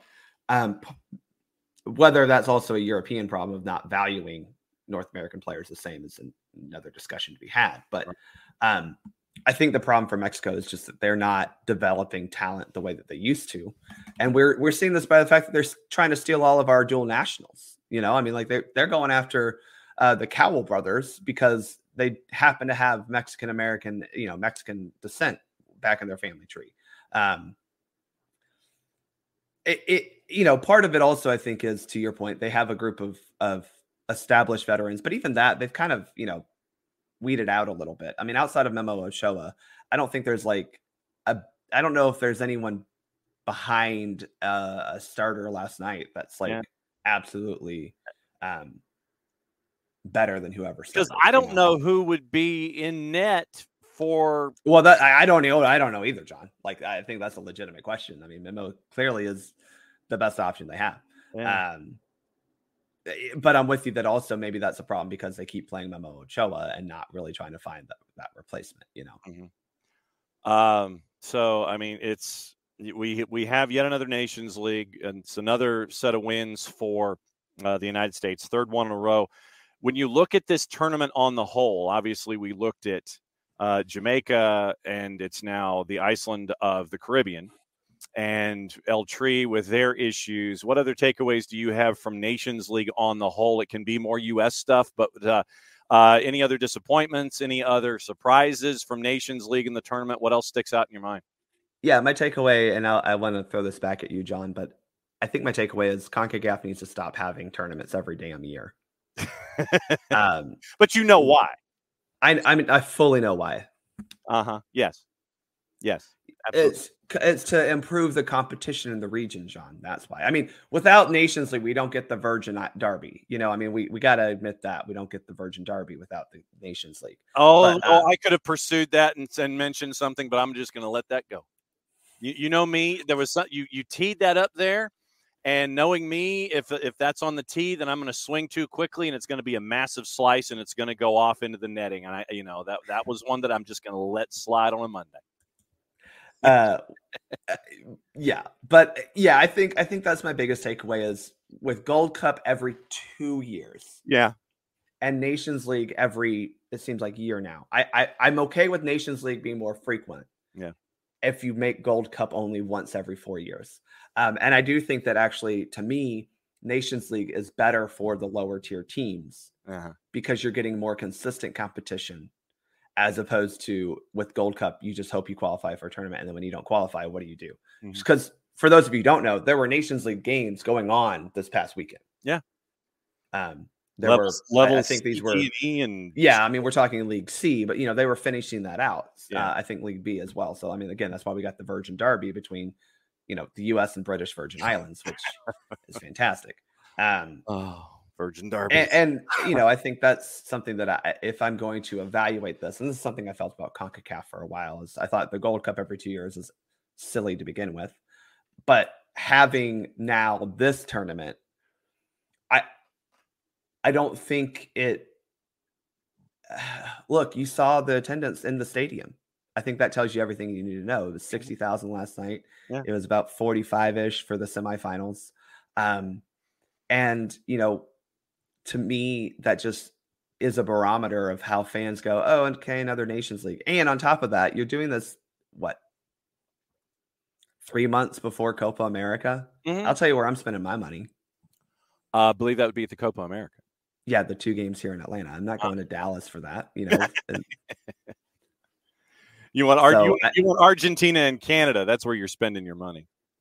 oh, that's right. Can- Congrats, Canada, for having to qualify and then getting into Argentina's group. Couldn't happen to a worse group of people. Uh, quoting Jorge again this morning to quote Disney villain syndrome: "When everyone's special, no one is." Right, and that's uh, I think you're right, and that's kind of the problem is that I, I I think if I could, I like the idea of Nations League because I do think it gives the teams a more, uh, it, it creates competition for those lower leagues. It does not create competition, and I'm sorry, it does not create real competition for teams six and up, you know, mm-hmm. eight and up maybe. Yeah. I think League A is fine, but like even in League A, in the past, we still got a team like St. Kitts and Nevis. You know, we still got teams like that. And once you get past the top eight or 10 teams in this region, it's not really a good use of, and I'm speaking of this purely for obviously from a US perspective, but even for like a Mexico or a Canada, Canada's not going to get anything out of playing Antigua and Barbuda, you know? And, and I think that's the thing is that for those teams, we just want to fast forward to the actual competition. But for teams like St. Kitts, for teams like Nicaragua, for teams like um, you know, Cuba, Puerto Rico, those types of teams, this is a valuable tournament because they get actual competitive matches as opposed to Gold Cup stuff where they don't really get that because if they don't qualify, which Nations League is part of the qualification for that, they don't qualify for that, it's just not playing. And so you're you're I think that's the thing is that Nations League is a benefit to the confederation as a whole, but it's not a benefit to USA, Mexico, even you know, even to an extent Jamaica, um, who, you know, while they played really well against us um, and did win third place, like those they're they're a level above the rest of the Caribbean teams, you know. Um, but it's still a good tournament to have. I just wish that it we didn't have to also have the Gold Cup every two years. I wish we didn't have to have this, you know, every year. Um, and CONCACAF needs to figure that out. Uh, the good, the bad, the ugly, the indifferent from the U.S. men's national team from a roster perspective. Who was good? Who was bad? I guess quoting our old buddy Chuck Dowdle, the old GBU. What was the uh, the good, the bad, and the ugly for you? Th- there were only two bads. Um, the first was Joe Scally was, you know, he had a bad game. Um, the, you know, looking back uh, more, the, that goal that Jamaica scored wasn't all his fault by any stretch. And I think Tim Weah deserves a lot of blame. I think Jedi should have defended better, but he also looked bad the rest of the, the match, right? I mean, he got pulled at halftime for a reason. Yeah, Um, you're on a and- and- couldn't risk it in the semi too. Right, right.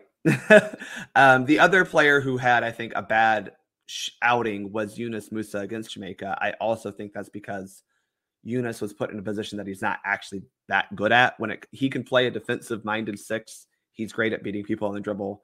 But if you ask him to be a facilitator of offense via passing, that's not where Yunus is going to thrive. And the fact that Tyler Adams was better at that than he was is a little bit problematic. Um, so I think those are the only two players who really had any sort of negatives against them. Um, from the positives, though, I mean, Serginho Dest was amazing last night. Um, I thought Haji Wright obviously showed so well this tournament Mhm. um, and and makes that striker competition even more interesting because you know I, I still think Ballo is you know Folarin Balogun's still the most talented striker we have, but at the end of the day you got to score, uh, you got to be productive, and Haji was very productive for this team in these two games. Um, so you know I think Haji was the one who had the biggest high. Gio was a very good high, but like you know we know what Gio is. He, Yeah. he, he met expectations. Yes. Um, and maybe the other positive is just seeing Tyler Adams play soccer again. You know, um, that was good. But I, I don't think there were any real, real bads because even with Yunus and Joe, it's like, well, you had a bad game out of what we've seen of you be pretty good. So it's you know okay, you had a bad game, but I thought for the most part, um, even in that Jamaica game, even though it was slow, like players were playing okay. Um, and they made up for it against Mexico. The the test though, John, is going to be this summer, and that's kind of where we're at with this team. Is you can dominate Concacaf all you want, you got to go prove it against you know better competition from the rest of the world. Yes, and uh, at the same time, for Copa America, you're going to have uh, this this roster that was European League dominant. I think this will be pretty much the roster for Copa America, to be honest. Which presents to me an interesting situation slash juggling act for the coaching staff because they will be coming off of their seasons, which will have been completed. And so right now, this time of year, they're used to being in league play. So they're they're used to the demands of your time and, and everything. But in Copa, your season will be over you will be continuing to play in the summer after your league play is done. So I'm wondering, this is going for me, this is going to be something that I'm going to be keeping an eye on is the, the overall uh, well-being of your players, knowing that their seasons are over and they're still having to play in international play. That's something for me. I'm going to keep. Yeah, I mean, look, Argentina, Brazil, Colombia, they have their best players playing in Europe as well. You know, mm-hmm. Mexico doesn't have good players. that's false. They have their best players playing in Europe. They're just not very good. But uh-huh. you know, we're we're all going to have to deal with it. Yeah. Um, I think again that's why you saw you know the U.S. schedule two friendlies in early June um, to get the players in there. Hopefully, keep them here a little bit for training camp. Um, you know, ahead of that June 23rd start because you know your your Brazil gap matches on June 12th, so you yeah. have what 11 days between the two. Hopefully, they get a little bit of a break, and then um, you know you come back ready to play, or maybe it's just a really long training camp. I don't know, um, but I think it's a fair question. I just think that it you're not going to not call in your best players because I'm sorry, there's no one, All right, no one playing in MLS who matches the level of anyone over in Europe right now. I'm sorry. Yeah. No, that's yeah, it'll be something monitored. You mentioned St. Kitts and Nevis, and that triggered this. Uh, St. Kitts and Nevis had two friendlies and uh, over the last couple days with our friends from San Marino, the San Marino, oh, national, nice. San Marino national team, right there. Uh, St. Kitts and Nevis won the first one 3 0. San Marino did not lose the second one yesterday. It was a goalless draw. So San Marino didn't lose, but they didn't score. So I figured that would be the. Uh, That's about as best as I could probably ask for. Correct. Yeah. So we're, we're trying to figure out the last time that our, our friends from San Marino actually won a match did not happen with these two friendlies with St. Kitts and Nevis. Uh, what's the latest with Soccer for USPOD and what's coming on? We will uh, be recording probably tomorrow night with looking at availability, and we'll have that episode out this week talking about this, uh, you know, the third Nations League in a row that we've won. Mm-hmm. Three in a row, Jon. Three yes. Three. Three in a row. Uh, as always, my friend, great to have you in on Mondays. And obviously, you know that when you want to vent your spleen about things, you know that you can always crash at any time. Basically, the way that this works with Bart, outside of his normally scheduled times, he will either text me or email me and go link me, and that you know, and that way he'll want to crash and, and talk about stuff. So. Uh, uh, enjoy the, the rest of what's in your mug that will not have any butter in it, sir. Uh, no, Con- no butter. CONCACAF Nations League once again to the U.S. men's national team. Thanks for hanging out with us on a Monday and uh, go grab some late breakfast or some lunch. We'll catch up with you soon. Hey, Atlanta, though, we're up next. She yes. believes Cup in two weeks. So that is true. see you all there. Get your tickets now and make sure that there's more than 49,000 in MBS. Bart's going to keep drinking his coffee and he'll roll from there. Uh, yes, Alex, thank you. Speaking of San Marino, uh, oh, what are you what are you taunting me with here? Uh, open link in a new tab. Our friends from San Marino did what? Uh, is it? Uh, uh, let's see. Uh, desire to face Mexico and be able to win a game after 20 years. Yes. wow. Oh wow. Uh, yeah, San Marino wasting no time. They're they're they're chasing after folks. Well done, San Marino. Uh, time for me to go to the top of the order and welcome folks in here for the final half hour of the show. Once again, anything else that's on your mind, uh, that's what today's all about. It's Reaction Monday. Could be reactions about uh, your favorite team, teams that drive you crazy, any news uh, that's going on, or it could be about San Marino wanting to challenge El Tri to a match and trying to, to win something uh, for the first time in 20 years. Morning, Alex. Morning, Will. Morning, Tom. Morning, Michael. Michael has a theory. Less ambitious owners in Major League Soccer like playing through international breaks. It keeps more parity. Uh, we'll get into what happened uh, tomorrow uh, through the rest of Major League Soccer. Some crazy results, and we'll get into uh, what is going on there. We also have a developing story out of uh, MLS adjacent. We'll get into coming up in just a bit. Uh, Tom, weekend recap: Death taxes, Atlanta United. Then we're embarrassed in the international break. Uh, that's a bit much, I think. USMNT plays to the competition. Mexico fans are trash. Morning, Kefsey. Morning, Will. Will, one out of seven USA Mexico matches ends in a 2 0 win for the U.S. per Opta Jack. One out of every seven. And uh, and Michael, being the Auburn grad, is uh, discussing things with Auburn. Uh, Auburn did have a seven point lead against Yale. The boss is not happy, and Auburn did not make it out of weekend number one. Michael Valverde, 3GB for president. Uh, David, since the 3 2 Nations League final in 2021, David believes Mexico has scored one goal versus the United States in the Gold Cup. Miles Robinson, he seems to recall. Mexico being dangerous, but shots horribly erratic. I think in three plus years, Mexico strikers have been letting that squad down. Cost Tata his job. Will cost more men their jobs until they find someone to score in big games. Yeah, and uh, Gignac is not in his 20s. So uh, that's that's a problem. The, the the depth and the youth are issues right now and Mexico reminds me, sadly, a lot of current day Brazil. Brazil, we know what to, we, we, we have in our brain the idea of what Brazil means to soccer. Jogo bonito, all that. It ain't that now. It's a painful watch. It's a slog watching Brazil. And it's painful for different reasons for Mexico. Once again, I think they are too old. They don't have any depth. They don't have any youth. And when they start to trail, they just get frustrated. They lash out, commit nasty fouls. They want to try and, fall down and goad the official into making calls, these kinds of things. So, Mexico and Brazil, two traditional powers in world soccer, aren't that right now. And, and it's a it's a painful watch for Brazil in international tournaments. And Mexico just gets you mad because they they they're trying to use cunning and guile to try to to draw fouls and the yellow for simulation inside the 18 was an example of that the, to give you an idea i watched the match on Tudene because i like to get the the hispanic perspective on things and how it's called and what they do and try to learn as a broadcaster at the same time when that particular moment happened, they went to replay. They were laughing on air about how poor a simulated uh, foul that was. And they were they were like, ah, no penal. And they, they're laughing on the air about that particular incident. And that's what that's what Mexico is down to right now. On the field. Off the field. And I think that the point that Bart made and Maddie made is that right now with Mexico, with El Tri, with their fan base, I think you're going to have to get to the point. Eh, but I know that Victor Montagliani may not do this because of the revenue that's attached.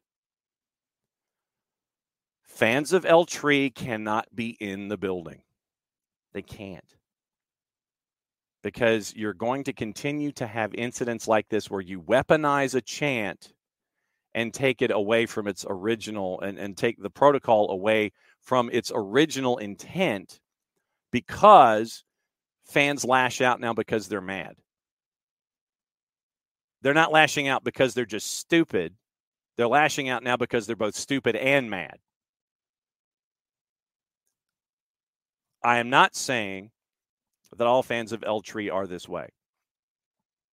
But when you have a building like Jerry World where you have fans during Matt Turner goal kicks using the chant as a weapon against your club because you are trailing 2 0 with 20 minutes to go and you're mad. Fine. If you're mad, you know what? Match is over. Everybody go home.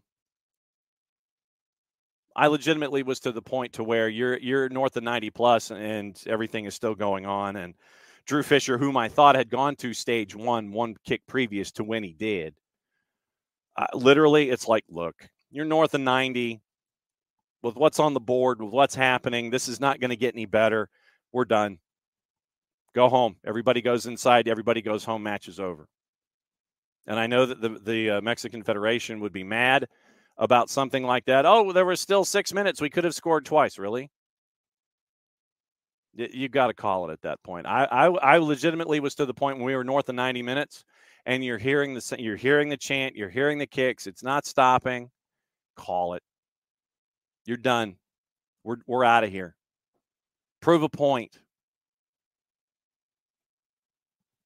Show to your fans, are uh, you know, hey, look, you did this. You've got to, if you're CONCACAF, you've got to have the you did this moment. You've got to have these you did this moments. You've got to have those. You've got to have those moments. You've got to show your fans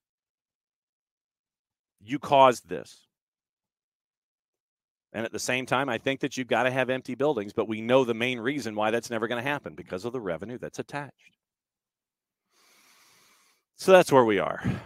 Um, David, apparently there's a Snyder cut of the Breakfast Club. Okay. All right. I did not know about the Snyder cut. Um, let's see. Uh, let's see. Morning, Abby. Morning, Tom. Yeah, and Abby right there, uh, thinking Mexico fans shouldn't be allowed at the national team's next game, and would have liked to have seen Luke Brennan take the field in Toronto. Uh, yeah, Kefsey, I expected goals from Jamal, Nick, Saba, and Xande, but not all in one match. Uh, let's see. Uh, yes, Kefsey was very happy to see Tyler uh, Tyler Adams uh, massively uh, velocitous shot. Uh, if I if I read that verbatim, um, eh, people might obviously get a uh, get a get a chuckle. Uh, Michael once again says, glad the men's national team won, but until they do something in a tournament outside of CONCACAF, dot, dot, dot. Um, Tom, my reaction to Adam's goal was probably the same as most. No, not from there. Oh my God, yes, absolutely. Uh, Abby, how do we draw games for two major holidays, Easter and Rosh Hashanah? Because people want to see Atlanta United.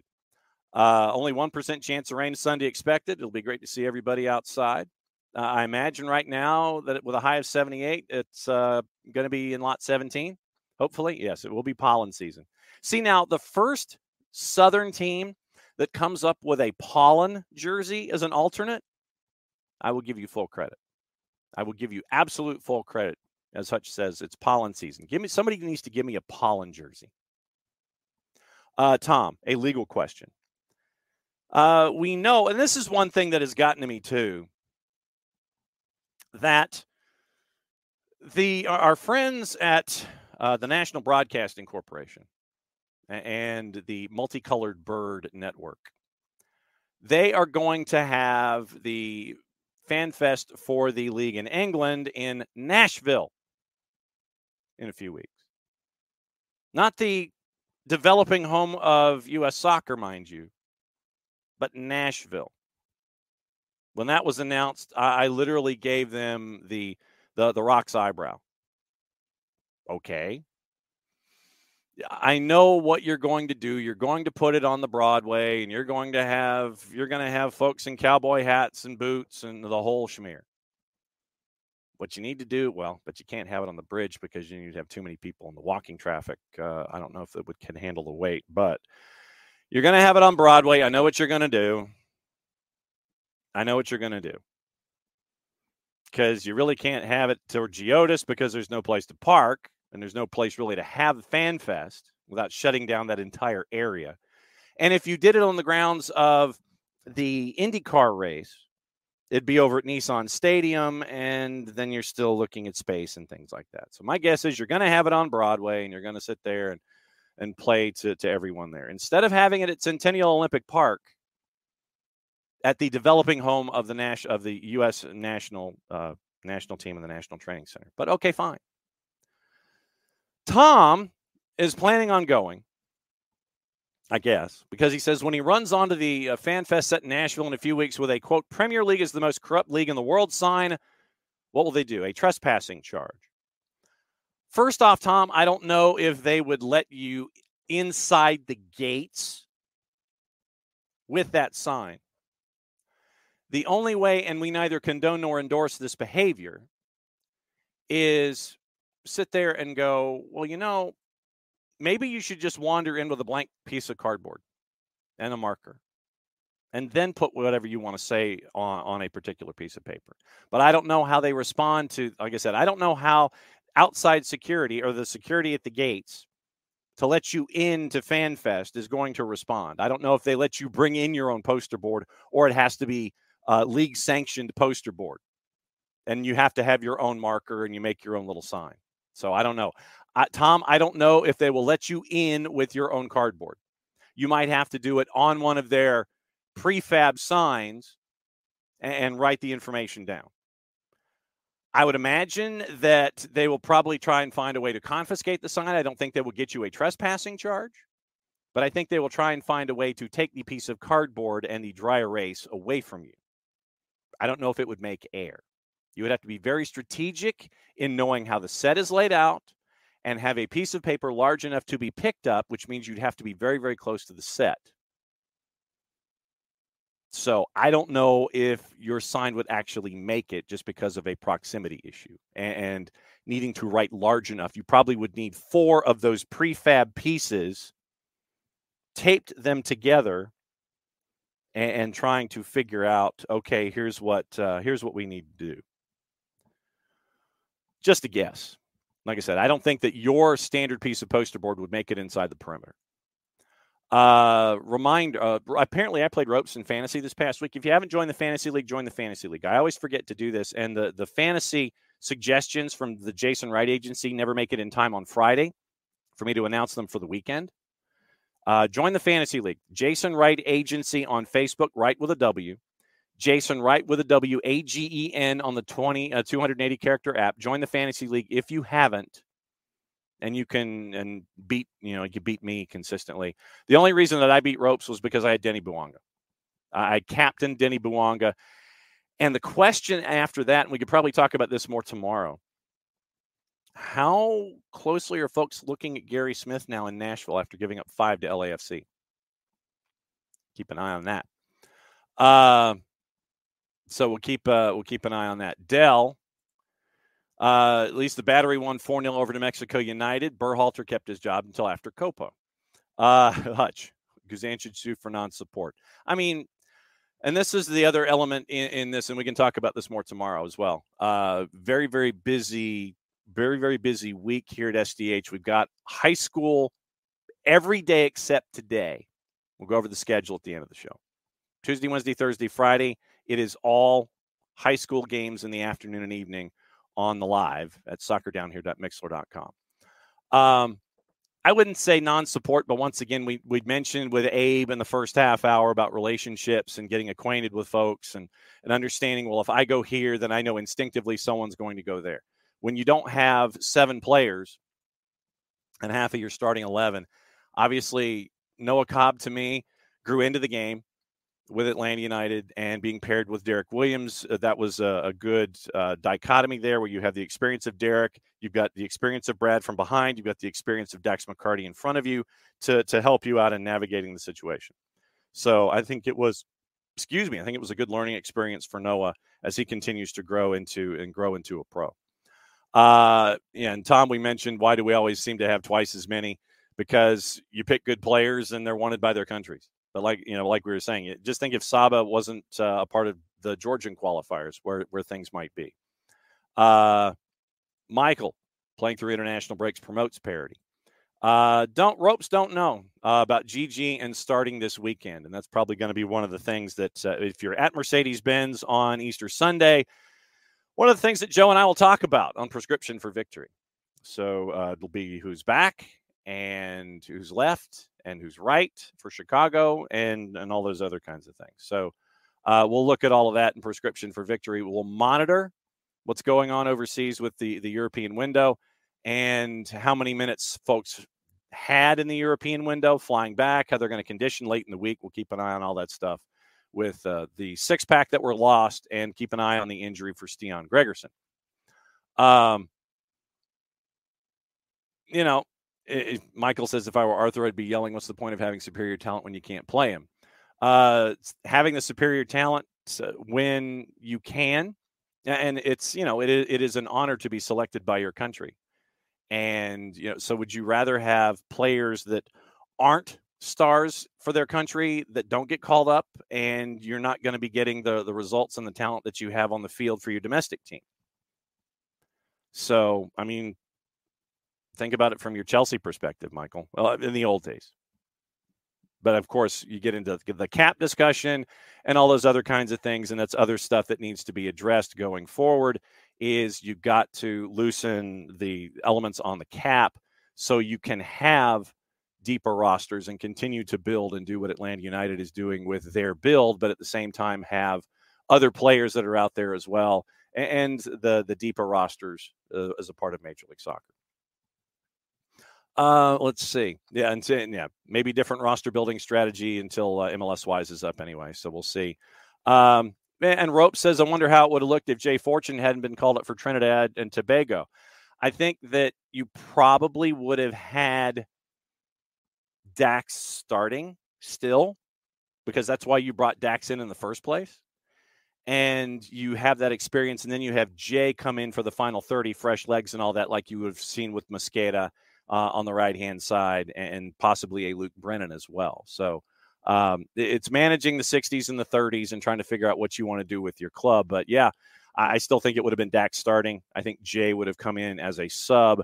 You want on the road in a situation like this with so many pieces missing, you want that experience at the back. And I think that that's and that's why Dax was brought in to be that voice at practice, to be that spot starter, to be your six to help you out at the back. Um, so uh, let's see. Uh, yeah, and Abby, Abby was there, and and Abby, thank you for for coming into the booth and giving Maddie the the gifts you did. That was very very cool. Abby gave. Abby came in and I think it was at halftime. Abby came into the booth at the fraction and she gave Maddie a reversible Two's bucket hat, which she loved, and one of our Action at the Fraction t shirts, which you can still buy. Our store is still up. Go to soccerdownhere.net, click on the store. You can get our Action at the Fraction t shirts, get all of our gear that's there and uh, rep SDH and we love it when you do. You can see you can get you can get this. You can get you can get the the zipper sweat jacket, which I have and I love. And this is a double X, and it, it is a double X. It literally is incredibly large. So uh, maybe a, a little larger than size when it comes to jackets and things, but you can still go to our store and get all of our gear.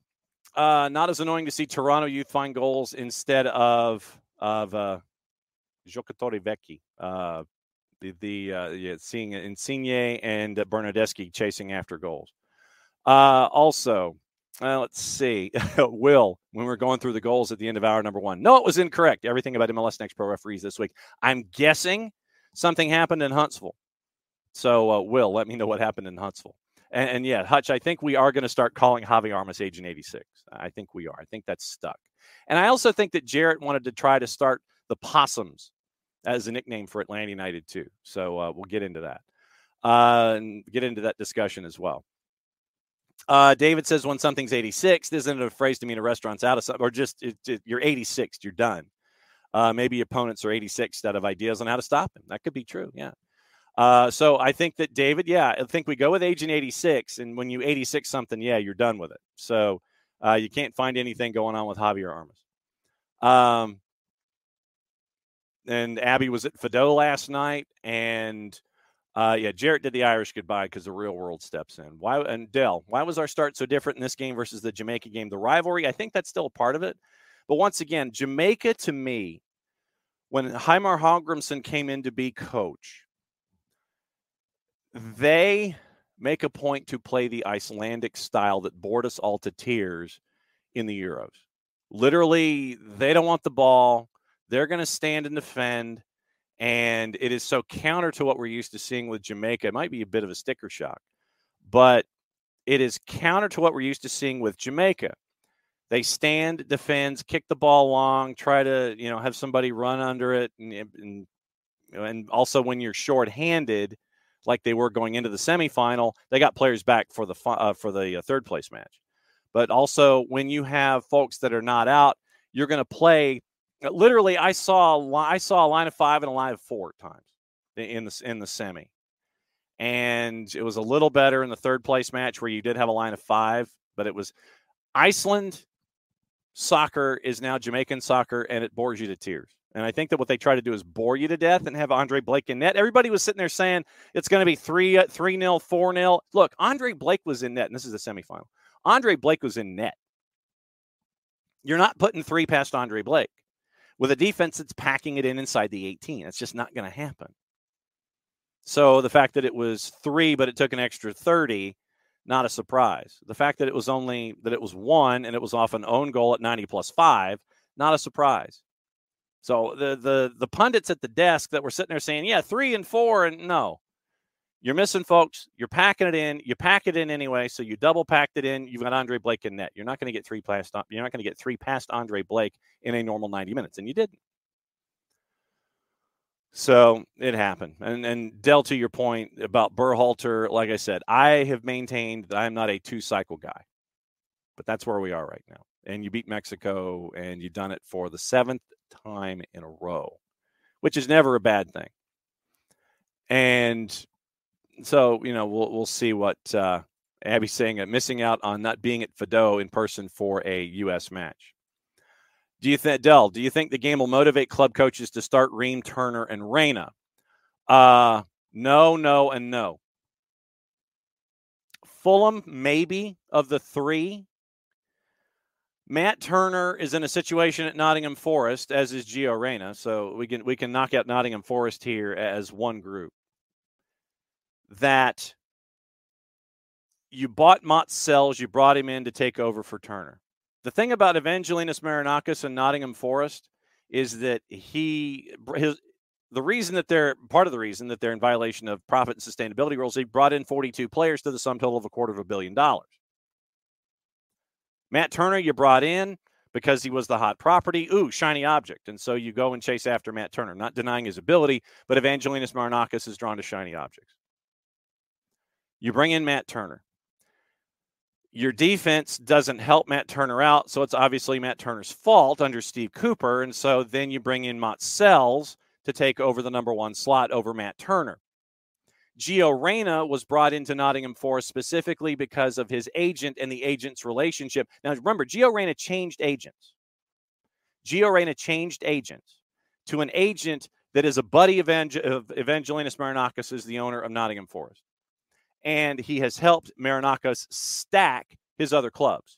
So this was a roster stacking move. Hey, my guy, Gio Reyna, whoop whoop. Gio Reyna has played 38 minutes in the time that he has been at Nottingham Forest.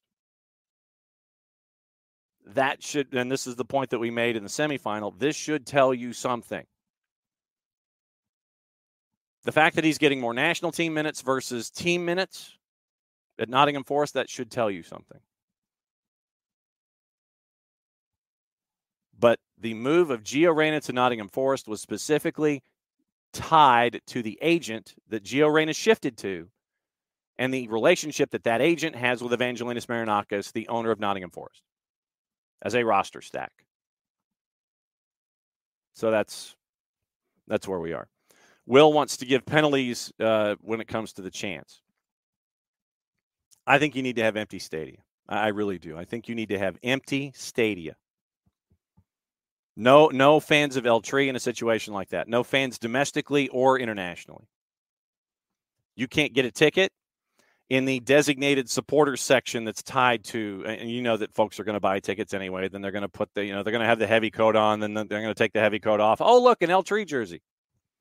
Those situations will happen, but those sections that are locked into being supporter sections for El Tri, no fans. No direct links to selling tickets to the fans of El Tri. Yeah, Hutch, laser, red, you know, the red lasers aimed at eyes during PKs. Yeah, and Michael, yeah, too much money to give up. The biggest thing, Tom, would be trying to figure out what tournament do you ban them from. They're not going to be banned from 26. And eh, so anything between now and 26 is going to be counterintuitive to the building of a program. Uh, morning from the, the the West Coast, Best Coast. Good to have you guys here in the morning. I'm still shocked that you guys start your breakfast with us. That is very humbling. Um, Abby says she saw some fighting in the second level of video on, the, on one of the social apps on uh, in Jerry World. You know, I mean, Michael Valverde wants to use crowd VAR. That's what security cameras are for, allegedly. And Wiley, it might have been some ring rust on the lockout, which reminds me uh, to bring that point together. And I know we're going over, and, and I apologize. From Jeff Carlisle, as of, oh, what, an hour ago. Jeff has been told there's voting on a new tentative agreement between Pro and the PSRA taking place as we speak. Voting ends at midnight tonight, Eastern Time, and they will see if the tentative agreement passes again. And uh, Jeff follows this up, quoting Jeff I'm told that the tentative agreement is being voted on by the PSRA is for seven years. That would carry through both the current World Cup cycle and the next. And not every PSRA member is pleased with this, I'm told, but we'll see how the vote goes. So it looks like it is a seven year agreement that is being voted on today by the PSRA and Pro. We'll keep an eye on that, see if we have anything else to report about it tomorrow uh, as we go. Hutch, hoping that the stadia and sports leagues are accumulating data necessary to identify the bad fans from their actions, incorporate into some sort of AI driven scanning that will allow venues to stop those fans from being admitted. Yeah, I mean, once again, how do you enforce it? Because you know that some folks are going to do the Bobby Valentine thing, wear the fake mustache, work their way in, go and, and figure it out.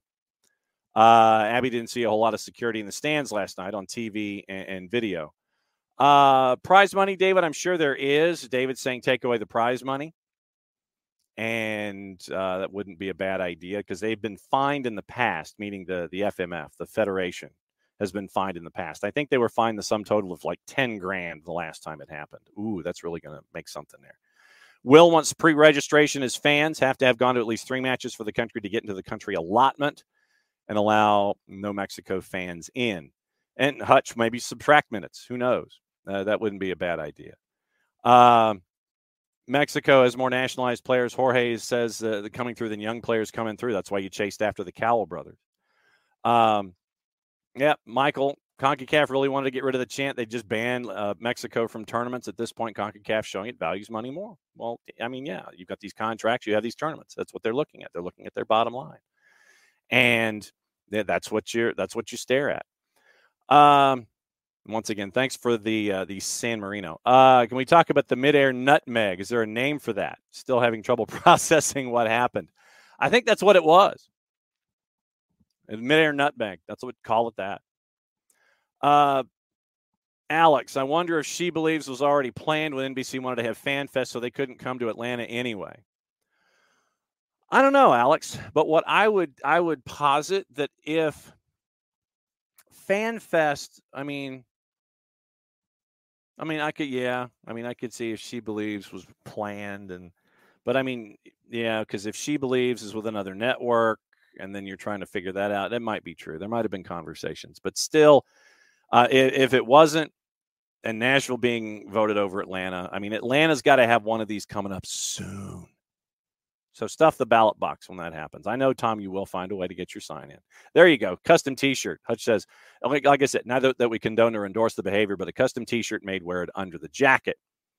Um, yeah. So keep an eye on Leicester now. Leicester is apparently going to take uh, the EFL and the Premier League through legal proceedings if they go through the PSR because apparently Leicester has now been written up. Leicester was written up last week on PSR, and so Leicester's pretty mad. And so we'll see what happens with Leicester, who wants to go through legal channels and take on both the Premier League and the EFL for their alleged violations. Uh, placing the crazy match in Charlotte on the refing down here radar. What a debacle and neutral as a neutral third party. Uh, WTAF, and that is not a radio station in North Carolina. Uh, yeah, and true. Michael says, yeah, Chelsea does take international windows off.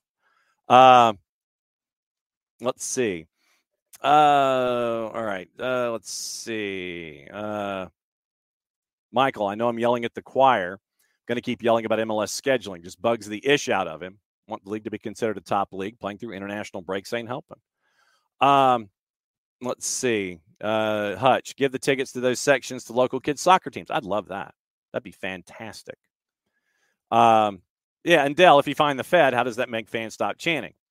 Well, then the Fed can't. Uh, it it doesn't. But I mean, it, I, I think that if you if you try to go A B C D on this, you fa- you find the federation. The federation uh, sits there and wags their finger at the fans. Don't do this, or we're going to have situations where we get fined and you can't show up. So cause and effect. We'll see what happens. Uh, orange and black, 100% CONCACAF likes money too much to do anything meaningful to the FMF.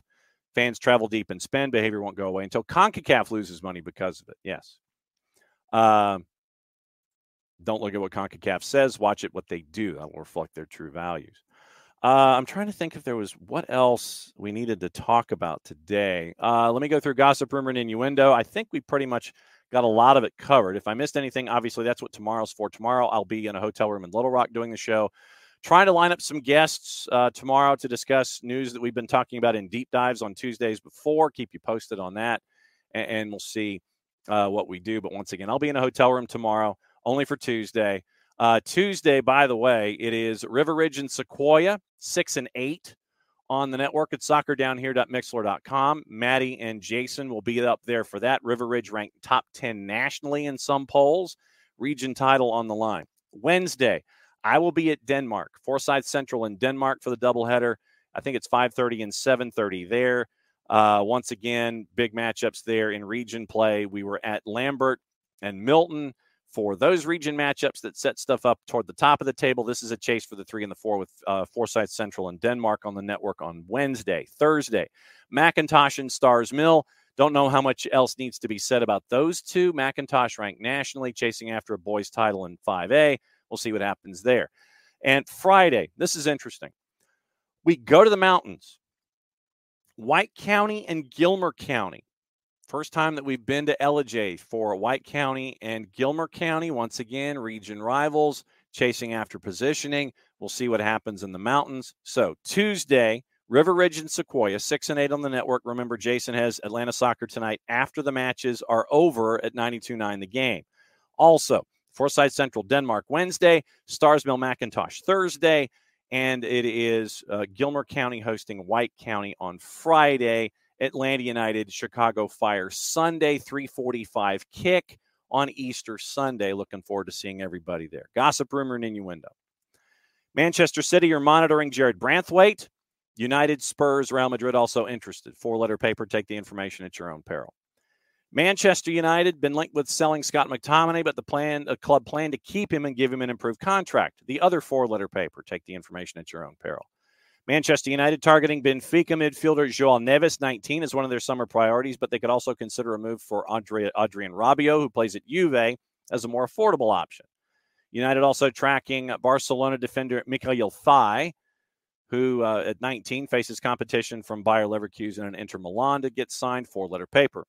West Ham planning a move for Ivan Toney, who's been linked with Arsenal and Chelsea. Liverpool, City, Chelsea, all been linked with given a boost in their pursuit of Bruno Guimaraes, with the Brazilian playmaker admitting he has other goals. Bayern Munich want a decision from Alphonso Davies next week about whether he, who has been linked with Real Madrid, will agree to a new contract with the Bundesliga champs. Spurs preparing an early summer bid between 30 and 40 million pounds for Conor Gallagher. Contract runs out in 2025. Genoa forward Albert Gudmundsson is on the radar of Spurs. Inter Milan also interested in the Icelandic international, but Gudmundsson would prefer to stay in Italy, keen on joining Inter, although Juve are also following him closely. Nagelsmann says it is, quote, not impossible, end quote, that he extends his contract as Germany manager beyond the end of the summer Euros, with talks of a new deal having been taken place. Benfica's Rui Pedro Braz is on a list of potential successors to take over from Dan Ashworth as sporting director at Newcastle United. What to watch? Where to watch it? Courtesy once again of our friends at Soccer American. Once again, keep an eye on the vote from Pro and the PSRA tentative agreement. Seven years on the table. Voting ends at midnight tonight. Obviously, we'll have something to talk about tomorrow, either on the yay or the nay side, and we'll see what it looks like. Soccer today, friendlies on FS2. Azerbaijan, Bulgaria at noon, Sweden, Albania at 2. Golazo Network has a men's friendly with the U23s of France and the U.S. at 4 o'clock, and that is also on U.S. Soccer YouTube as well at 4 o'clock. So, understandably, a light day uh, across the board, and uh, kind of stuff to talk about, stuff to watch, and we'll be back at it again tomorrow. Because, like I said, very, very busy day, very, very busy week for uh, all of us here at SDH. And like I said, high school soccer Tuesday, Wednesday, Thursday, Friday. And it is going to be uh, all over the places. Uh, region play is ending next week in most of the state of Georgia. It is spring break. We will have on uh, April 1st, this is no April Fool's joke. Baylor School out of uh, Chattanooga taking on Johnson Gainesville will be up there for that. And then Calhoun and Sonoraville we will have that one on the Tuesday night throwdown. First visit to Sonoraville next week, and then a girls matchup, Wesleyan and Calhoun, big region matchup there in the afternoon on Friday the 5th, 4 o'clock, and it's just that one matchup to uh, get Wesleyan there during spring break week to have the match played on the girls' side and then have them travel safely home. So, uh, three appearances next week, four appearances this week for the network. Soccer down here.mixlr.com. Don't forget to download the Mixlr app, M I X L R. And that's where all of our live stuff is. If you missed any of uh, the matches that we've done so far, you can go back and listen to them. If you missed the post game show yesterday, uh, after the, the wrap up of the twos match with me and Jarrett and Maddie and Jason, you get to hear the goals. You get to hear from Steve Cooke. You get to hear from Luke Brennan. You get to hear from John Berner. You get to hear in a in a uh, in an eight inch or a twelve inch uh, DVD extra Roy Laster, the head coach from Carolina Core. So that is uh, so that's uh, all that is going on here at the network. Once again, chasing guests for tomorrow because of uh, what's been going on and what we've been talking about over the last couple of days, last weeks, really, uh, in the sport of soccer here as spring schedules are kicking off. And remember, also next week we've got Open Cup as well. So, Open Cup round twos are next week, and we'll be discussing that as we go forward. And we're also trying to track down our friends from uh, South Carolina United Heat with their win over Crown Legacy. And that might appear on the network hopefully later this afternoon, but we'll keep you posted on that. So, very, very busy stuff across the board. Thanks for hanging out with us here on SDH as you always do. Thanks to Abe Gordon. Thanks to Jarrett. Thanks to Maddie. Thanks to Bart. And thanks to you, as always. Thanks for hanging out with us and being a part of the conversation as we are uh, leaving our international window and heading back into Major League Soccer. Tomorrow, we'll talk MLS. We'll talk whatever else is on your mind. Hopefully, we'll have some guests to talk about some of the news of the day. Keep an eye on Pro and the PSRA vote ending at midnight, seven years, tentative agreement on the table that they're chasing after. And we'll talk about all of that as well. So, once again, 9.05 tomorrow morning, we will discuss everything going on in the world of soccer. We've been doing it for uh, this is our eighth season, and uh, we could not be any more humbled that you guys come and hang out with us every single day that you do. So uh, uh we'll just go ahead and end it uh, on a note like this. That's an absolute banger. And Jess is not wrong. Dos a Cero, once again, seven times in a row, the United States has beaten Mexico and Atlanta United now back in town. You got Chicago coming up on the weekend. So for everybody here at SDH, Mucha Platial, play it safe. And since it's the end of the show, that means I get to do this. We'll be back at it again 9:05 Eastern Time tomorrow morning. Play it safe. Enjoy your lunch. We'll catch up soon.